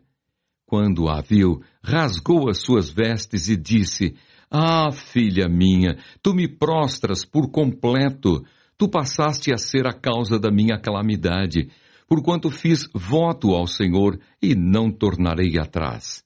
E ela lhe disse: Pai meu, fizeste voto ao Senhor, faze, pois, de mim segundo o teu voto pois o Senhor te vingou dos teus inimigos, os filhos de Amon. Disse mais a seu pai: Concede-me isto, deixa-me por dois meses, para que eu vá e desça pelos montes e chore a minha virgindade, eu e as minhas companheiras. Consentiu ele. Vai. E deixou-a ir por dois meses. Então se foi ela com as suas companheiras e chorou a sua virgindade pelos montes. Ao fim dos dois meses, tornou ela para seu pai, o qual lhe fez segundo o voto por ele proferido. Assim, ela jamais foi possuída por varão. Daqui veio o costume em Israel de as filhas de Israel saírem por quatro dias, de ano em ano, a cantar em memória da filha de Jefté, o Gileadita. Juízes capítulo 12 Jefté peleja contra os Efraimitas. Então foram convocados os homens de Efraim e passaram para Zafon e disseram a Jefté, Por que foste combater contra os filhos de Amon e não nos chamaste para ir contigo? Queimaremos a tua casa, estando tu dentro dela. E Jefté lhes disse, Eu e o meu povo tivemos grande contenda com os filhos de Amon. Chamei-vos e não me livrastes das suas mãos. Vendo eu que não me livráveis, Arrisquei a minha vida e passei contra os filhos de Amon, e o Senhor os entregou nas minhas mãos. Por que, pois, subistes hoje contra mim para me combaterdes? Ajuntou Jefté todos os homens de Gileade e pelejou contra Efraim. E os homens de Gileade feriram Efraim, porque este dissera, Fugitivos sois de Efraim, vós, gileaditas, que morais no meio de Efraim e Manassés. Porém, os gileaditas tomaram os vãos do Jordão que conduzem a Efraim. De sorte que, quando qualquer fugitivo de Efraim dizia, quero passar, então os homens de Gileade lhe perguntavam, és tu Efraimita? Se respondia não, então lhe tornavam, dize, pois, Chibolete, quando dizia cibolete, não podendo exprimir bem a palavra, então pegavam dele e o matavam nos vãos do Jordão. E caíram de Efraim naquele tempo quarenta e dois mil. Jefté, o Gileadita, julgou a Israel seis anos, e morreu e foi sepultado numa das cidades de Gileade. Os juízes Ibsã, Elon e Abdom. Depois dele julgou a Israel Ibsã de Belém. Tinha este trinta filhos e trinta filhas. A estas casou fora, e de fora trouxe trinta mulheres para seus filhos. Julgou a Israel sete anos. Então faleceu Ibsã e foi sepultado em Belém. Depois dele veio Elon, o Zebulonita, que julgou a Israel dez anos. Faleceu Elon, o Zebulonita, e foi sepultado em Aijalon, na terra de Zebulon. Depois dele, julgou a Israel Abdon, filho de Iléu, o Piratonita. Tinha este quarenta filhos e trinta netos, que cavalgavam setenta jumentos. Julgou a Israel oito anos. Então faleceu Abdon, filho de Iléu, o Piratonita, e foi sepultado em Piratom, na terra de Efraim, na região montanhosa dos Amalequitas. Juízes capítulo 13 O nascimento de Sansão Tendo os filhos de Israel tornado a fazer o que era mal perante o Senhor, este os entregou nas mãos dos filisteus por quarenta anos.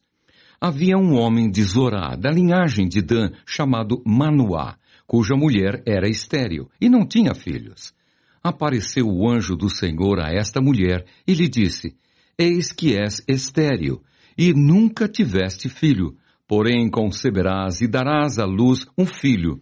Agora, pois, guarda-te, não bebas vinho ou bebida forte, nem comas coisa imunda, porque eis que tu conceberás e darás à luz um filho, sobre cuja cabeça não passará navalha porquanto o menino será nazireu, consagrado a Deus desde o ventre de sua mãe. E ele começará a livrar a Israel do poder dos filisteus. Então a mulher foi a seu marido e lhe disse: Um homem de Deus veio a mim. Sua aparência era semelhante à de um anjo de Deus, tremenda. Não lhe perguntei de onde era, nem ele me disse o seu nome. Porém, me disse: Eis que tu conceberás e darás à luz um filho. Agora, pois, não bebas vinho, nem bebida forte, nem comas coisa imunda, porque o menino será nazireu, consagrado a Deus, desde o ventre materno até ao dia de sua morte. Então Manoá orou ao Senhor e disse, ah, Senhor meu, rogo-te que o homem de Deus que enviaste venha outra vez e nos ensine o que devemos fazer ao menino que há de nascer. Deus ouviu a voz de Manoá e o anjo de Deus veio outra vez à mulher, quando esta se achava assentada no campo, porém não estava com ela seu marido Manoá. Apressou-se, pois, a mulher e, correndo, noticiou-o a seu marido e lhe disse: Eis que me apareceu aquele homem que viera a mim no outro dia. Então se levantou Manoá e seguiu a sua mulher. E tendo chegado ao homem, lhe disse: És tu o que falaste a esta mulher? Ele respondeu: Eu sou. Então disse Manoá: Quando se cumprirem as tuas palavras, qual será o modo de viver do menino e o seu serviço? Respondeu-lhe o anjo do Senhor: Guarde-se a mulher de tudo quanto eu lhe disse. De tudo quanto procede da videira não comerá, nem vinho, nem bebida forte beberá, nem coisa imunda comerá. Tudo quanto lhe tenho ordenado, guardará. Então Manoá disse ao anjo do Senhor: Permite-nos deter-te, e te prepararemos um cabrito. Porém o anjo do Senhor disse a Manoá: Ainda que me detenhas, não comerei de teu pão e se preparares holocausto, ao Senhor o oferecerás. Porque não sabia Manoá que era o anjo do Senhor. Perguntou Manoá ao anjo do Senhor: Qual é o teu nome para que, quando se cumprir a tua palavra, te honremos? Respondeu-lhe o anjo do Senhor e lhe disse: Por que perguntas assim pelo meu nome, que é maravilhoso? Tomou, pois, Manoá um cabrito e uma oferta de manjares e os apresentou sobre uma rocha ao Senhor. E o anjo do Senhor se ouve maravilhosamente. Manoá e sua mulher estavam observando. Sucedeu que, subindo para o céu, a chama que saiu do altar, o anjo do Senhor subiu nela.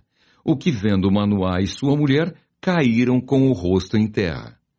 Nunca mais apareceu o anjo do Senhor a Manoá, nem a sua mulher. Então Manoá ficou sabendo que era o anjo do Senhor.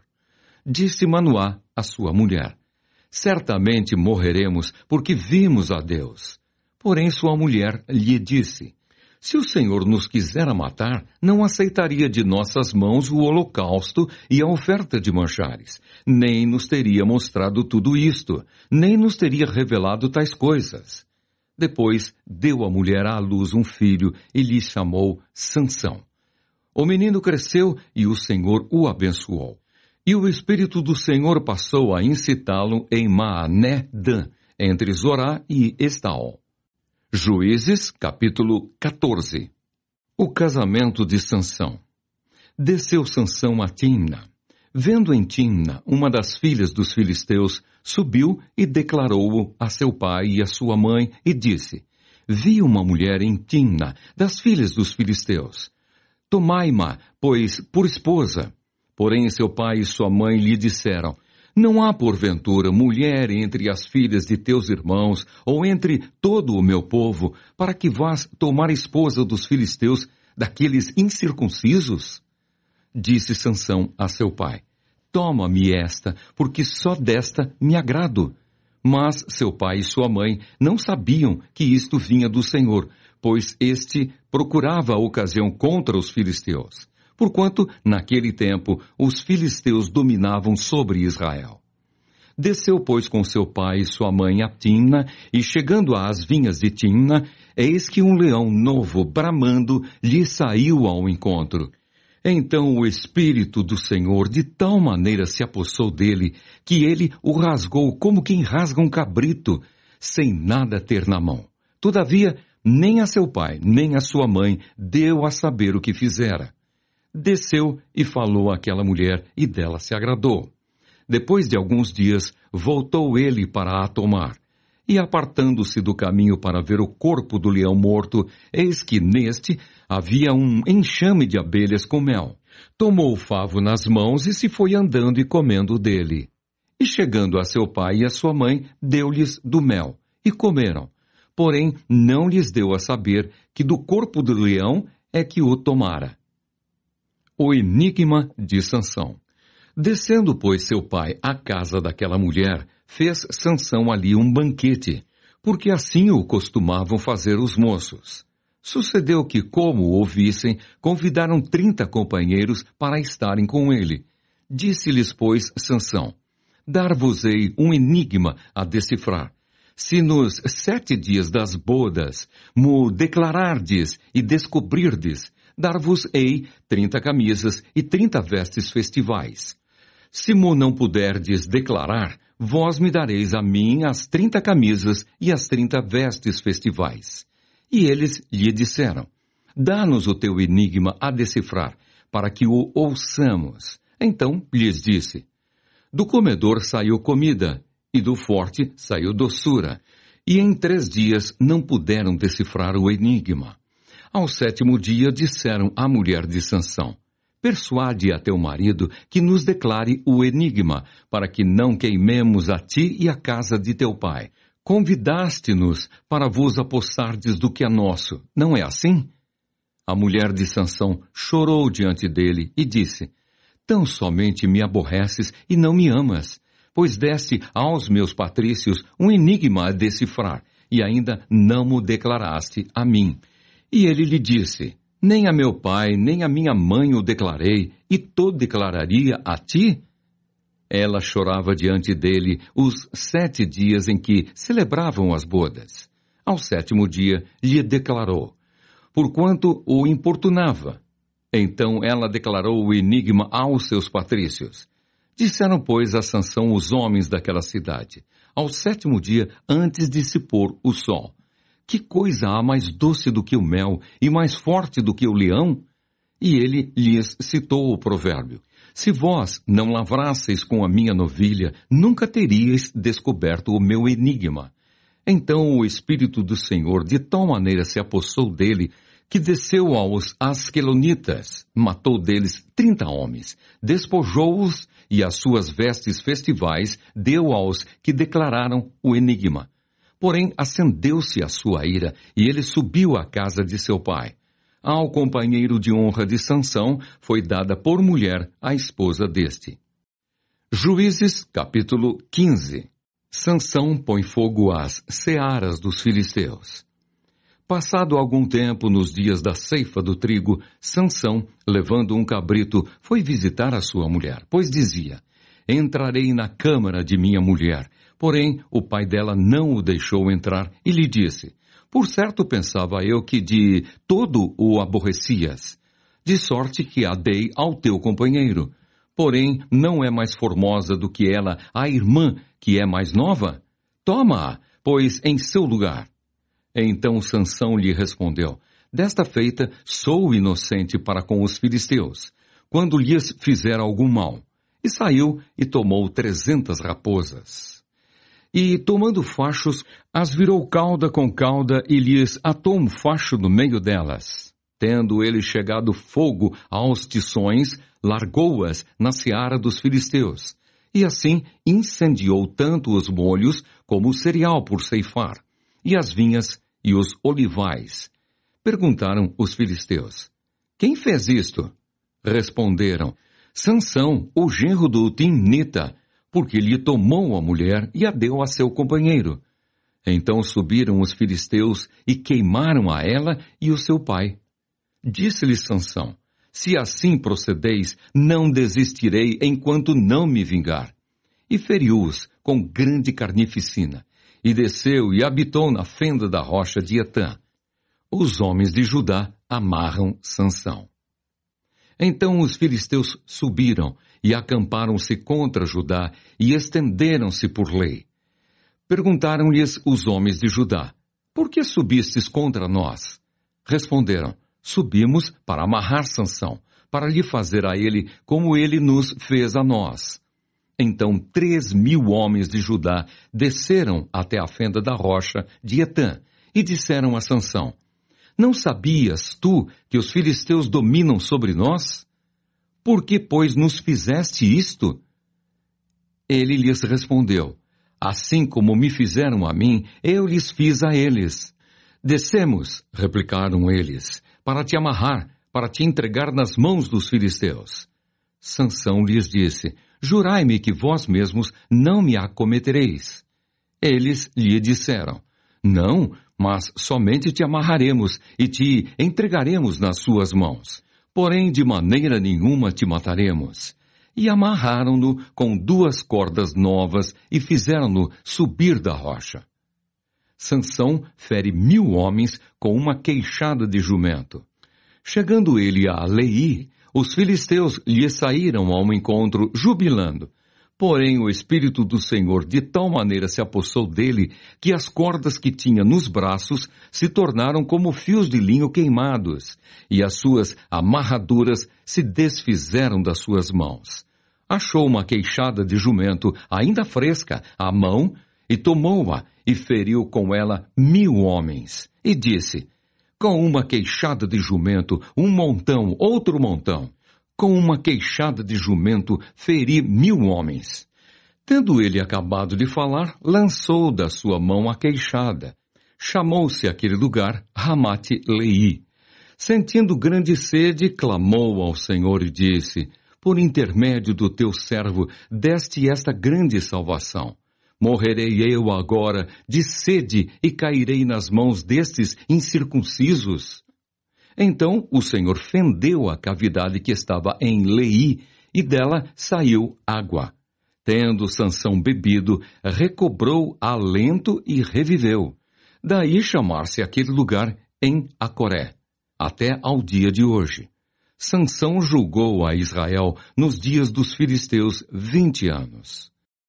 Juízes capítulo 16 Sansão em Gaza Sansão foi a Gaza e viu ali uma prostituta e coabitou com ela. Foi dito aos gazitas: Sansão chegou aqui.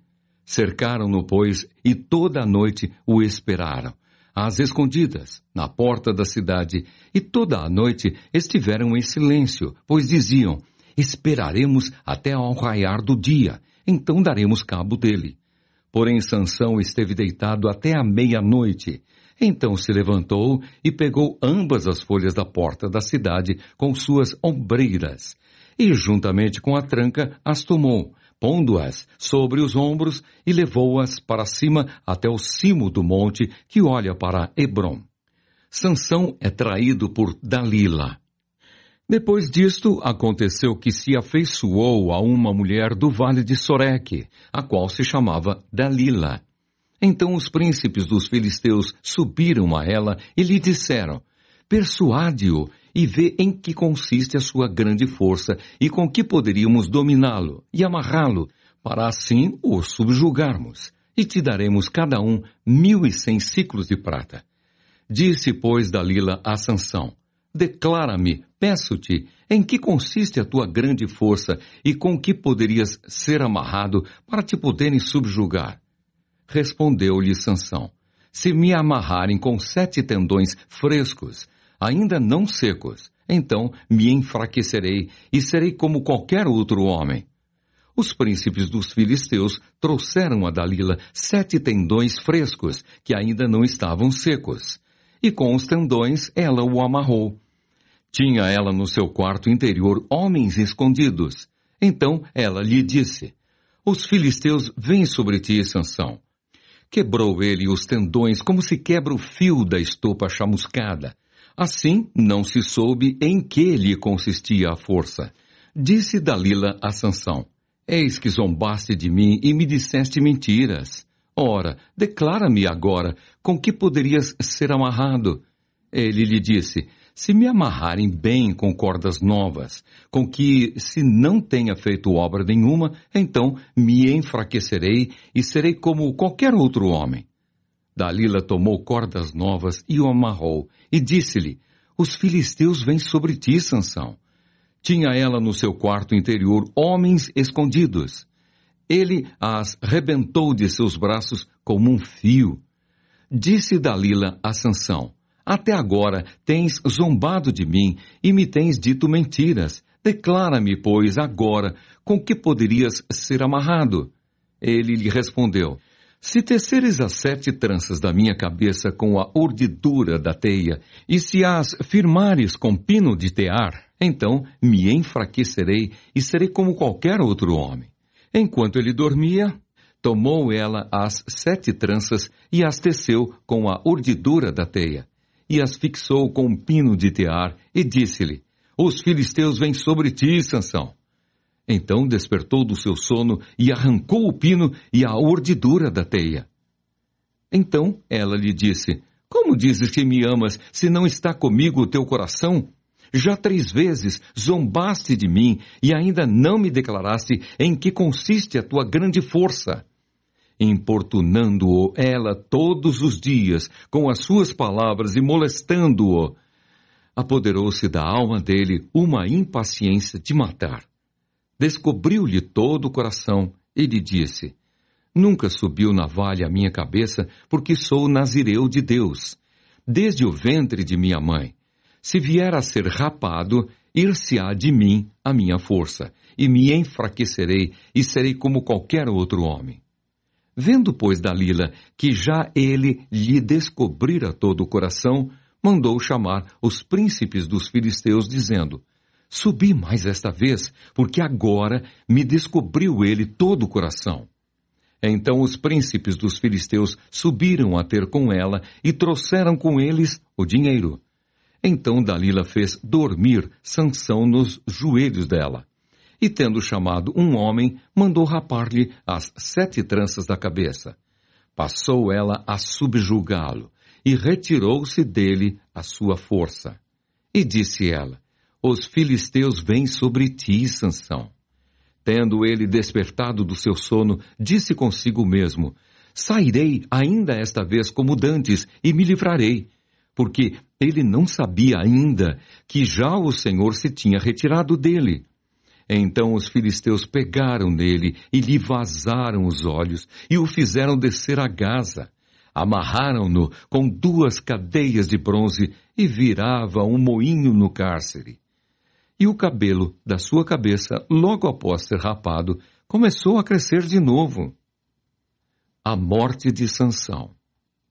Então os príncipes dos filisteus se ajuntaram para oferecer grande sacrifício a seu deus Dagom e para se alegrarem, e diziam: Nosso Deus nos entregou nas mãos a Sansão, nosso inimigo. Vendo o povo, louvavam ao seu Deus, porque diziam: nosso Deus nos entregou nas mãos o nosso inimigo e o que destruía a nossa terra e o que multiplicava os nossos mortos. Alegrando-se-lhes o coração, disseram: Mandai vir Sansão para que nos divirta. Trouxeram Sansão do cárcere, o qual os divertia. Quando o fizeram estar em pé entre as colunas, disse Sansão ao moço que o tinha pela mão: Deixa-me para que apalpe as colunas em que se sustém a casa, para que me encoste a elas. Ora, a casa estava cheia de homens e mulheres, e também ali estavam todos os príncipes dos filisteus, e sobre o teto havia uns três mil homens e mulheres, que olhavam enquanto Sansão os divertia. Sansão clamou ao Senhor e disse, Senhor Deus, peço-te que te lembres de mim e dá-me força só esta vez. Ó oh Deus, para que me vingue dos filisteus, ao menos por um dos meus olhos. Abraçou-se, pois, Sansão com as duas colunas do meio em que se sustinha a casa e fez força sobre elas, com a mão direita em uma e com a mão esquerda na outra, e disse: Morra eu com os filisteus. E inclinou-se com força, e a casa caiu sobre os príncipes e sobre todo o povo que nela estava. E foram mais os que matou na sua morte do que os que matara na sua vida. Então seus irmãos desceram e toda a casa de seu pai. Tomaram-no, subiram com ele e o sepultaram, entre Zorá e Estaol, no sepulcro de Manoá, seu pai. Julgou ele a Israel vinte anos. Juízes, capítulo 17 Mica e o ídolo da sua casa. Havia um homem da região montanhosa de Efraim, cujo nome era Mica, o qual disse à sua mãe, os mil e cem ciclos de prata que te foram tirados, por cuja causa deitavas maldições, e de que também me falaste, eis que esse dinheiro está comigo, eu o tomei. Então lhe disse a mãe, Bendito do Senhor seja meu filho. Assim restituiu os mil e cem ciclos de prata à sua mãe, que disse, De minha mão dedico este dinheiro ao Senhor para meu filho, para fazer uma imagem de escultura e uma de fundição, de sorte que agora eu te devolvo. Porém, ele restituiu o dinheiro à sua mãe, que tomou duzentos ciclos de prata e os deu ao Orives, o qual fez deles uma imagem de escultura e uma de fundição. E a imagem esteve em casa de Mica. E assim este homem, Mica, veio a ter uma casa de deuses fez uma estola sacerdotal e ídolos do lar e consagrou a um de seus filhos para que lhe fosse por sacerdote. Naqueles dias não havia rei em Israel. Cada qual fazia o que achava mais reto. O levita em casa de Mica. Havia um moço de Belém de Judá, da tribo de Judá, que era levita e se demorava ali esse homem partiu da cidade de Belém de Judá para ficar onde melhor lhe parecesse. Seguindo, pois, o seu caminho, chegou à região montanhosa de Efraim até a casa de Mica. Perguntou-lhe Mica: De onde vens? Ele lhe respondeu: Sou levita de Belém de Judá e vou ficar onde melhor me parecer. Então lhe disse Mica: Fica comigo e sê-me por pai e sacerdote e cada ano te darei dez ciclos de prata, o vestuário e o sustento. O levita entrou e consentiu em ficar com aquele homem, e o moço lhe foi como um de seus filhos. Consagrou Mica ao moço levita, que lhe passou a ser sacerdote, e ficou em casa de Mica. Então disse Mica: Sei agora que o Senhor me fará bem, porquanto tenho um levita por sacerdote. Juízes capítulo 18 Os danitas buscam herança maior.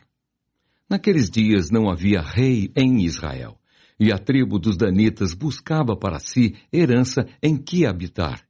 Porquanto até aquele dia, entre as tribos de Israel, não lhe havia caído por sorte a herança enviaram os filhos de Dan cinco homens, dentre todos os da sua tribo, homens valentes, de Zorá e de Estaol, a espiar e explorar a terra.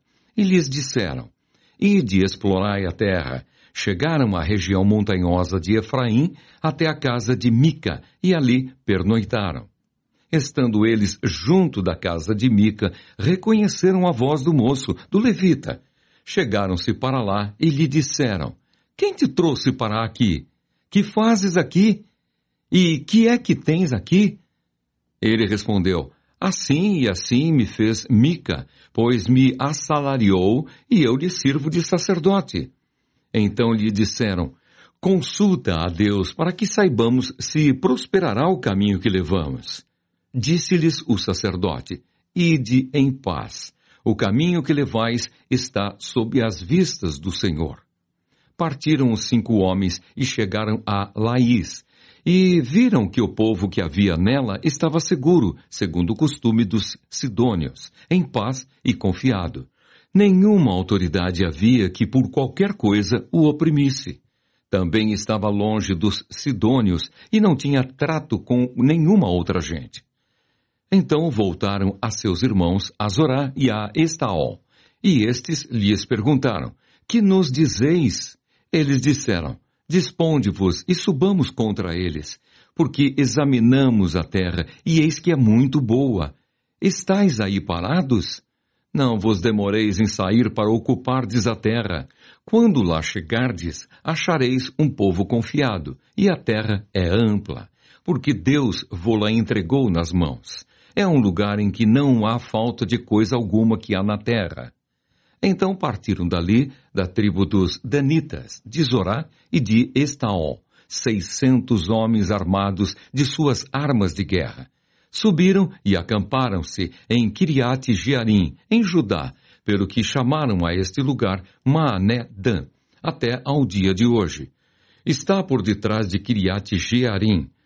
Dali passaram à região montanhosa de Efraim e chegaram até a casa de Mica roubada a imagem de Mica e conquistada a cidade de Laís. Os cinco homens que foram espiar a terra de Laís disseram a seus irmãos: Sabeis vós que naquelas casas há uma estola sacerdotal e ídolos do lar e uma imagem de escultura e uma de fundição? Vê depois o que haveis de fazer. Então foram para lá e chegaram à casa do moço, o levita, em casa de Mica, e o saudaram. Os seiscentos homens que eram dos filhos de Dan, armados de suas armas de guerra, ficaram à entrada da porta. Porém, subindo os cinco homens que foram espiar a terra, entraram e apanharam a imagem de escultura, a estola sacerdotal, os ídolos do lar e a imagem de fundição, ficando o sacerdote em pé à entrada da porta, com os seiscentos homens que estavam armados com as armas de guerra. Entrando eles, pois, na casa de Mica e tomando a imagem de escultura, a estola sacerdotal, os ídolos do lar e a imagem de fundição, disse-lhes o sacerdote: Que estás fazendo? Eles lhe disseram: Cala-te e põe a mão na boca e vem conosco, e sê-nos por pai e sacerdote ser-te-á melhor seres sacerdote da casa de um só homem do que seres sacerdote de uma tribo e de uma família em Israel? Então se alegrou o coração do sacerdote, tomou a estola sacerdotal, os ídolos do lar e a imagem de escultura e entrou no meio do povo. Assim viraram e, tendo posto diante de si os meninos, o gado e seus bens, partiram. Estando já longe da casa de Mica, reuniram-se os homens que estavam nas casas junto a dele e alcançaram os filhos de Dan. E clamaram após eles, os quais, voltando-se, disseram a Mica: Que tens, que convocaste esse povo? Respondeu-lhes: Os deuses que eu fiz me tomastes, e também o sacerdote, e vos fostes. Que mais me resta? Como, pois, me perguntais, que é o que tens? Porém os filhos de Dan lhe disseram, não nos faças ouvir a tua voz, para que, porventura, homens de ânimo amargoso não se lancem sobre ti, e tu percas a tua vida e a vida dos da tua casa. Assim prosseguiram o seu caminho os filhos de Dan, e Mica, vendo que eram mais fortes do que ele, voltou-se e tornou para sua casa. Levaram eles o que Mica havia feito e o sacerdote que tivera, e chegaram a Laís, a um povo em paz e confiado, e os feriram a fio de espada e queimaram a cidade. Ninguém houve que os livrasse, porquanto estavam longe de Sidom e não tinham trato com ninguém. A cidade estava no vale junto a Bet-Reob. Reedificaram a cidade, habitaram nela e lhe chamaram Dan, segundo o nome de Dan, seu pai, que nascera a Israel, porém, outrora o nome desta cidade era Laís. Os filhos de Dan levantaram para si aquela imagem de escultura e Jonatas, filho de Gerson, o filho de Manassés, ele e seus filhos foram sacerdotes da tribo dos Danitas até ao dia do cativeiro do povo. Assim, pois, a imagem de escultura feita por Mica estabeleceram para si todos os dias que a casa de Deus esteve em Siló. Juízes capítulo 19 O levita e sua concubina Naqueles dias em que não havia rei em Israel, houve um homem levita que, peregrinando nos longes da região montanhosa de Efraim, tomou para si uma concubina de Belém de Judá. Porém, ela, aborrecendo-se dele, o deixou, tornou para a casa de seu pai em Belém de Judá e lá esteve os dias de uns quatro meses. Seu marido, tendo consigo seu servo e dois jumentos, levantou-se e foi após ela para falar-lhe ao coração a fim de tornar a trazê-la. Ela o fez entrar na casa de seu pai. Este, quando ouviu, saiu alegre a recebê-lo. Seu sogro, o pai da moça, o deteve por três dias em sua companhia. Comeram, beberam e o casal se alojou ali. Ao quarto dia, madrugaram e se levantaram para partir. Então o pai da moça disse a seu genro: Fortalece-te com um bocado de pão e depois partireis. Assentaram-se, pois, e comeram ambos juntos e beberam. Então disse o pai da moça ao homem: Peço-te que ainda esta noite queiras passá-la aqui, e se alegre o teu coração. Contudo, o homem levantou-se para partir. Porém, o seu sogro, instando com ele, fê-lo pernoitar ali. Madrugando ele ao quinto dia para partir, disse o pai da moça: Fortalece-te e detende-vos até ao declinar do dia. E ambos comeram juntos. Então o homem se levantou para partir, ele e a sua concubina e o seu moço.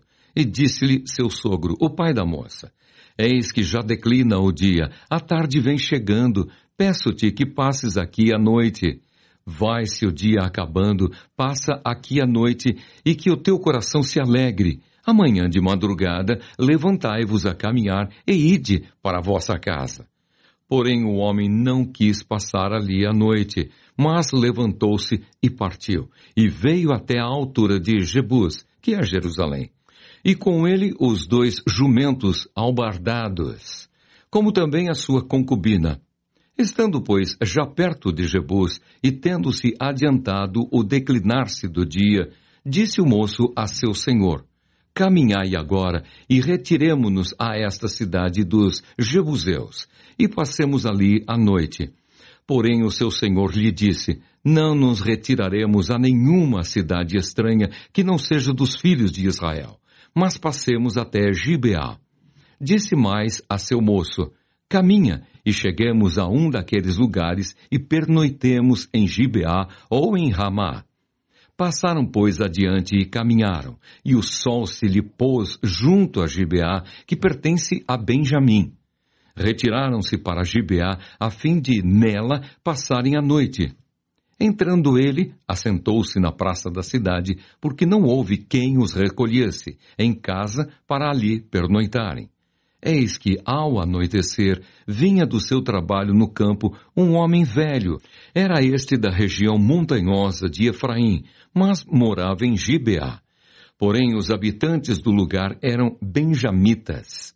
Erguendo o velho os olhos, viu na praça da cidade este viajante e lhe perguntou: Para onde vais e de onde vens? Ele lhe respondeu: Estamos viajando de Belém de Judá para os longes da região montanhosa de Efraim, donde sou. Fui a Belém de Judá e agora estou de viagem para a casa do Senhor. E ninguém há que me recolha em casa, ainda que há palha e pasto para os nossos jumentos, e também pão e vinho para mim e para a tua serva, e para o moço que vem com os teus servos. De coisa nenhuma há falta. Então disse o velho: Paz seja contigo. Tudo quanto te vier a faltar, fique a meu cargo. Tão somente não passes a noite na praça. Levou-o para casa e deu pasto aos jumentos. E tendo eles lavado os pés, comeram e beberam. Enquanto eles se alegravam, eis que os homens daquela cidade, filhos de Belial, cercaram a casa, batendo à porta, e falaram ao velho senhor da casa, dizendo: Traze para fora o homem que entrou em tua casa, para que abusemos dele. O senhor da casa saiu a ter com eles e lhes disse: Não, irmãos meus, não façais semelhante mal, já que o homem está em minha casa. Não façais tal loucura. Minha filha virgem e a concubina dele trarei para fora. Humilhai-as e fazei delas o que melhor vos agrade, porém a este homem não façais semelhante loucura. Porém aqueles homens não o quiseram ouvir. Então ele pegou da concubina do levita e entregou a eles fora. E eles a forçaram e abusaram dela toda a noite até pela manhã. E subindo a alva, a deixaram. Ao romper da manhã, vindo a mulher, caiu à porta da casa do homem onde estava o seu senhor e ali ficou até que se fez dia claro. Levantando-se pela manhã o seu senhor, abriu as portas da casa e saindo a seguir o seu caminho, eis que a mulher, sua concubina, jazia à porta da casa, com as mãos sobre o limiar. Ele lhe disse: Levanta-te e vamos. Porém ela não respondeu. Então o homem a pôs sobre o jumento, dispôs-se e foi para sua casa. Chegando à casa, tomou de um cutelo e, pegando a concubina, a despedaçou por seus ossos em doze partes e as enviou por todos os limites de Israel. Cada um que a isso presenciava aos outros dizia: Nunca tal se fez, nem se viu desde o dia em que os filhos de Israel subiram da terra do Egito até ao dia de hoje. Ponderai nisso, considerai e falai. Juízes capítulo 20 Os israelitas vingam o ultraje feito ao levita. Saíram todos os filhos de Israel e a congregação se ajuntou perante o Senhor em Mispa, como se fora um só homem desde Dan até Berseba, como também a terra de Gileade. Os príncipes de todo o povo e todas as tribos de Israel se apresentaram na congregação do povo de Deus. Havia quatrocentos mil homens de pé que puxavam da espada. Ouviram os filhos de Benjamim que os filhos de Israel haviam subido a Mispa. Disseram os filhos de Israel: Contai-nos como sucedeu esta maldade. Então respondeu o homem levita, marido da mulher que fora morta, e disse: Cheguei com a minha concubina a Gibeá, cidade de Benjamim, para passar a noite. Os cidadãos de Gibeá se levantaram contra mim e, à noite, cercaram a casa em que eu estava. Intentaram matar-me e violaram a minha concubina, de maneira que morreu. Então peguei a minha concubina e a fiz em pedaços e os enviei por toda a terra da herança de Israel, porquanto fizeram vergonha e loucura em Israel. Eis que todos sois filhos de Israel. Eia, dai a vossa palavra e conselho neste caso. Então todo o povo se levantou como um só homem, dizendo: Nenhum de nós voltará para a sua tenda, nenhum de nós se retirará para casa. Porém, isto é o que faremos a Gibeá subiremos contra ela por sorte. Tomaremos dez homens de cem de todas as tribos de Israel, e cem de mil, e mil de dez mil, para providenciarem mantimento para o povo, a fim de que este, vindo a Gibeá de Benjamim, faça a ela conforme toda a loucura que tem feito em Israel. Assim se ajuntaram contra esta cidade todos os homens de Israel, unidos como um só homem. As tribos de Israel enviaram homens por toda a tribo de Benjamim para lhe dizerem: Que maldade é essa que se fez entre vós? Dai-nos agora os homens, filhos de Belial, que estão em Gibeá, para que os matemos e tiremos de Israel o mal. Porém, Benjamim não quis ouvir a voz de seus irmãos, os filhos de Israel. Antes, os filhos de Benjamim se ajuntaram, vindos das cidades em Gibeá, para saírem a pelejar contra os filhos de Israel. E contaram-se naquele dia os filhos de Benjamim, vindos das cidades, eram vinte e seis mil homens que puxavam da espada, afora os moradores de Gibeá, de que se contavam setecentos homens escolhidos. Entre todo este povo havia setecentos homens escolhidos, canhotos, os quais atiravam com a funda uma pedra num cabelo e não erravam. Contaram-se dos homens de Israel afora os de Benjamim, quatrocentos mil homens que puxavam da espada, e todos eles homens de guerra. Levantaram-se os israelitas, subiram a Betel e consultaram a Deus, dizendo: Quem dentre nós subirá primeiro a pelejar contra Benjamim? Respondeu o Senhor: Judá subirá primeiro. Levantaram-se, pois, os filhos de Israel pela manhã e acamparam-se contra Gibeá. Saíram os homens de Israel à peleja contra Benjamim e, junto a Gibeá, se ordenaram contra ele. Então os filhos de Benjamim saíram de Gibeá e derribaram por terra, naquele dia, vinte e dois mil homens de Israel. Porém se animou o povo dos homens de Israel e tornaram a ordenar-se para a peleja, no lugar onde no primeiro dia o tinham feito. Antes subiram os filhos de Israel e choraram perante o Senhor até a tarde, e consultaram o Senhor, dizendo: Tornaremos a pelejar contra os filhos de Benjamim, nosso irmão? Respondeu o Senhor: Subi contra ele. Chegaram-se, pois, os filhos de Israel contra os filhos de Benjamim no dia seguinte. Também os de Benjamim no dia seguinte saíram de Gibeá de encontro a eles e derribaram ainda por terra mais dezoito mil homens, todos dos que puxavam da espada. Então todos os filhos de Israel, todo o povo, subiram e vieram a Betel e choraram e estiveram ali perante o Senhor e jejuaram aquele dia até a tarde e perante o Senhor ofereceram holocaustos e ofertas pacíficas. E os filhos de Israel perguntaram ao Senhor, porquanto a arca da aliança de Deus estava ali naqueles dias, e Finéias, filho de Eleazar, filho de Arão, ministrava perante ela naqueles dias, dizendo: Tornaremos a sair ainda a pelejar contra os filhos de Benjamim, nosso irmão, ou desistiremos? Respondeu o Senhor: Subi, que amanhã eu os entregarei nas vossas mãos. Então Israel pôs emboscadas em redor de Gibeá. Ao terceiro dia subiram os filhos de Israel contra os filhos de Benjamim e se ordenaram a peleja contra Gibeá, como das outras vezes. Então os filhos de Benjamim saíram de encontro ao povo, e deixando-se atrair para longe da cidade, começaram a ferir alguns do povo e mataram, como das outras vezes, uns trinta dos homens de Israel pelas estradas, das quais uma sobe para Betel, a outra para Gibeá do campo. Então os filhos de Benjamim disseram: Vão derrotados diante de nós como dantes. Porém, os filhos de Israel disseram: Fujamos e atraiamo-los da cidade para as estradas.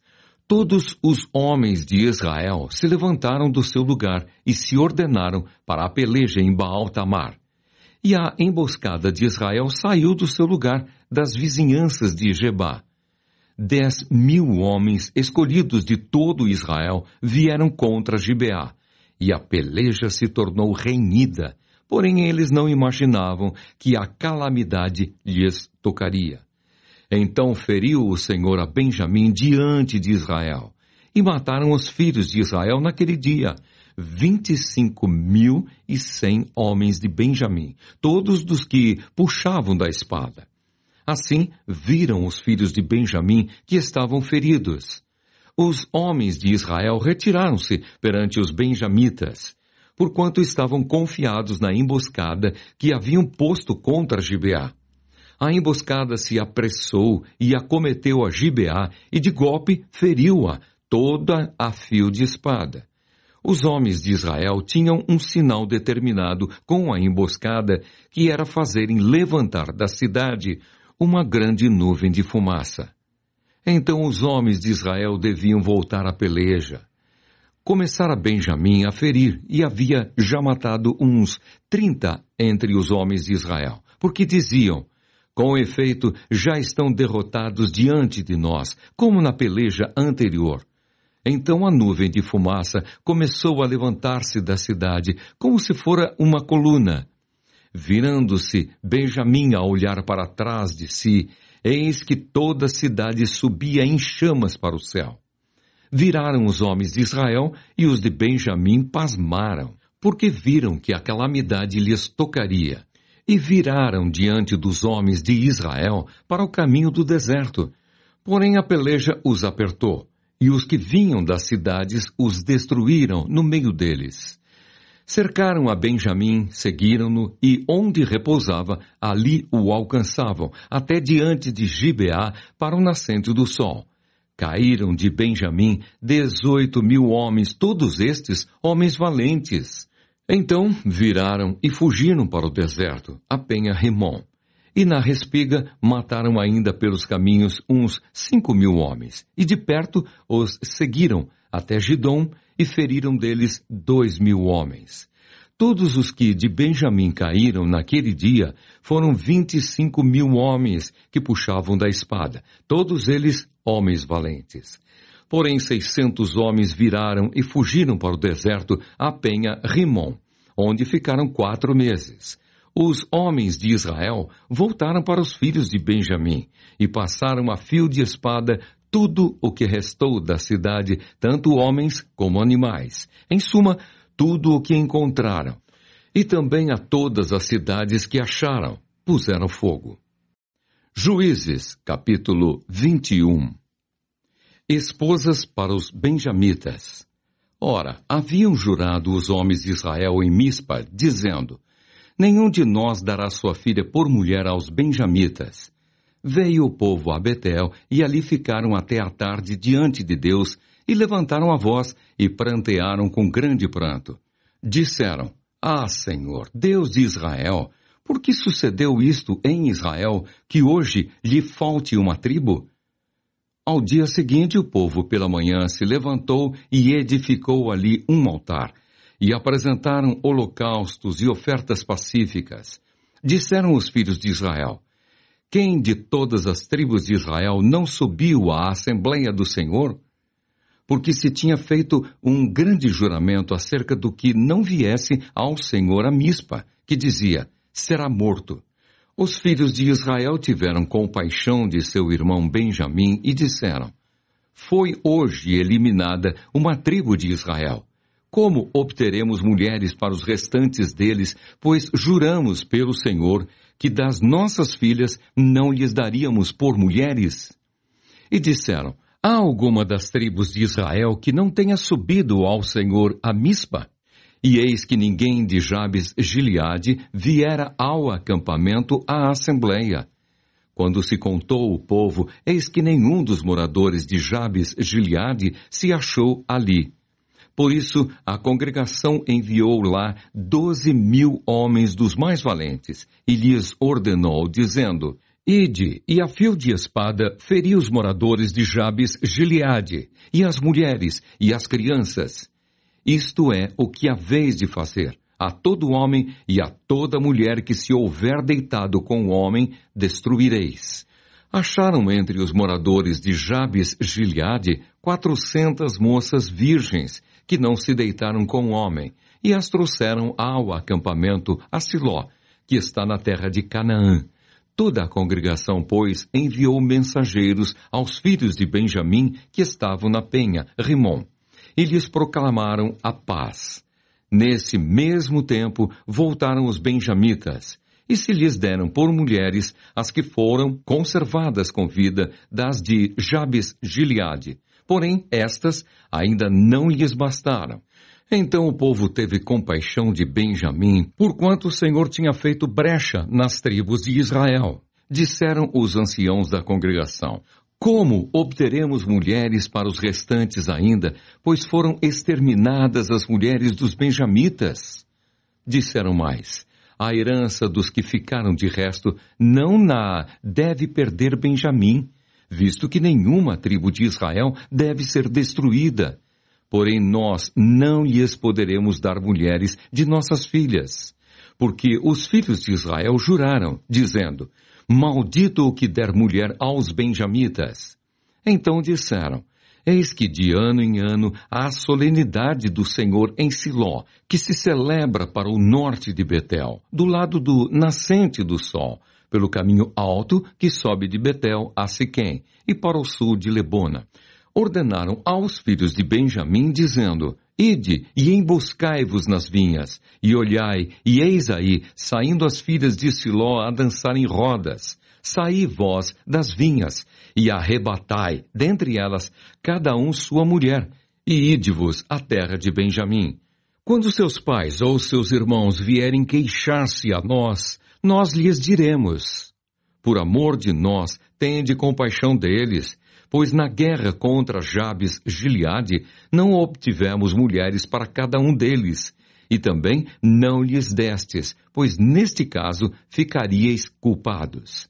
Assim fizeram os filhos de Benjamim e levaram mulheres conforme o número deles, das que arrebataram das rodas que dançavam. E foram-se, voltaram à sua herança, reedificaram as cidades e habitaram nelas. Então os filhos de Israel também partiram dali, cada um para a sua tribo, para a sua família e para a sua herança. Naqueles dias não havia rei em Israel. Cada um fazia o que achava mais reto.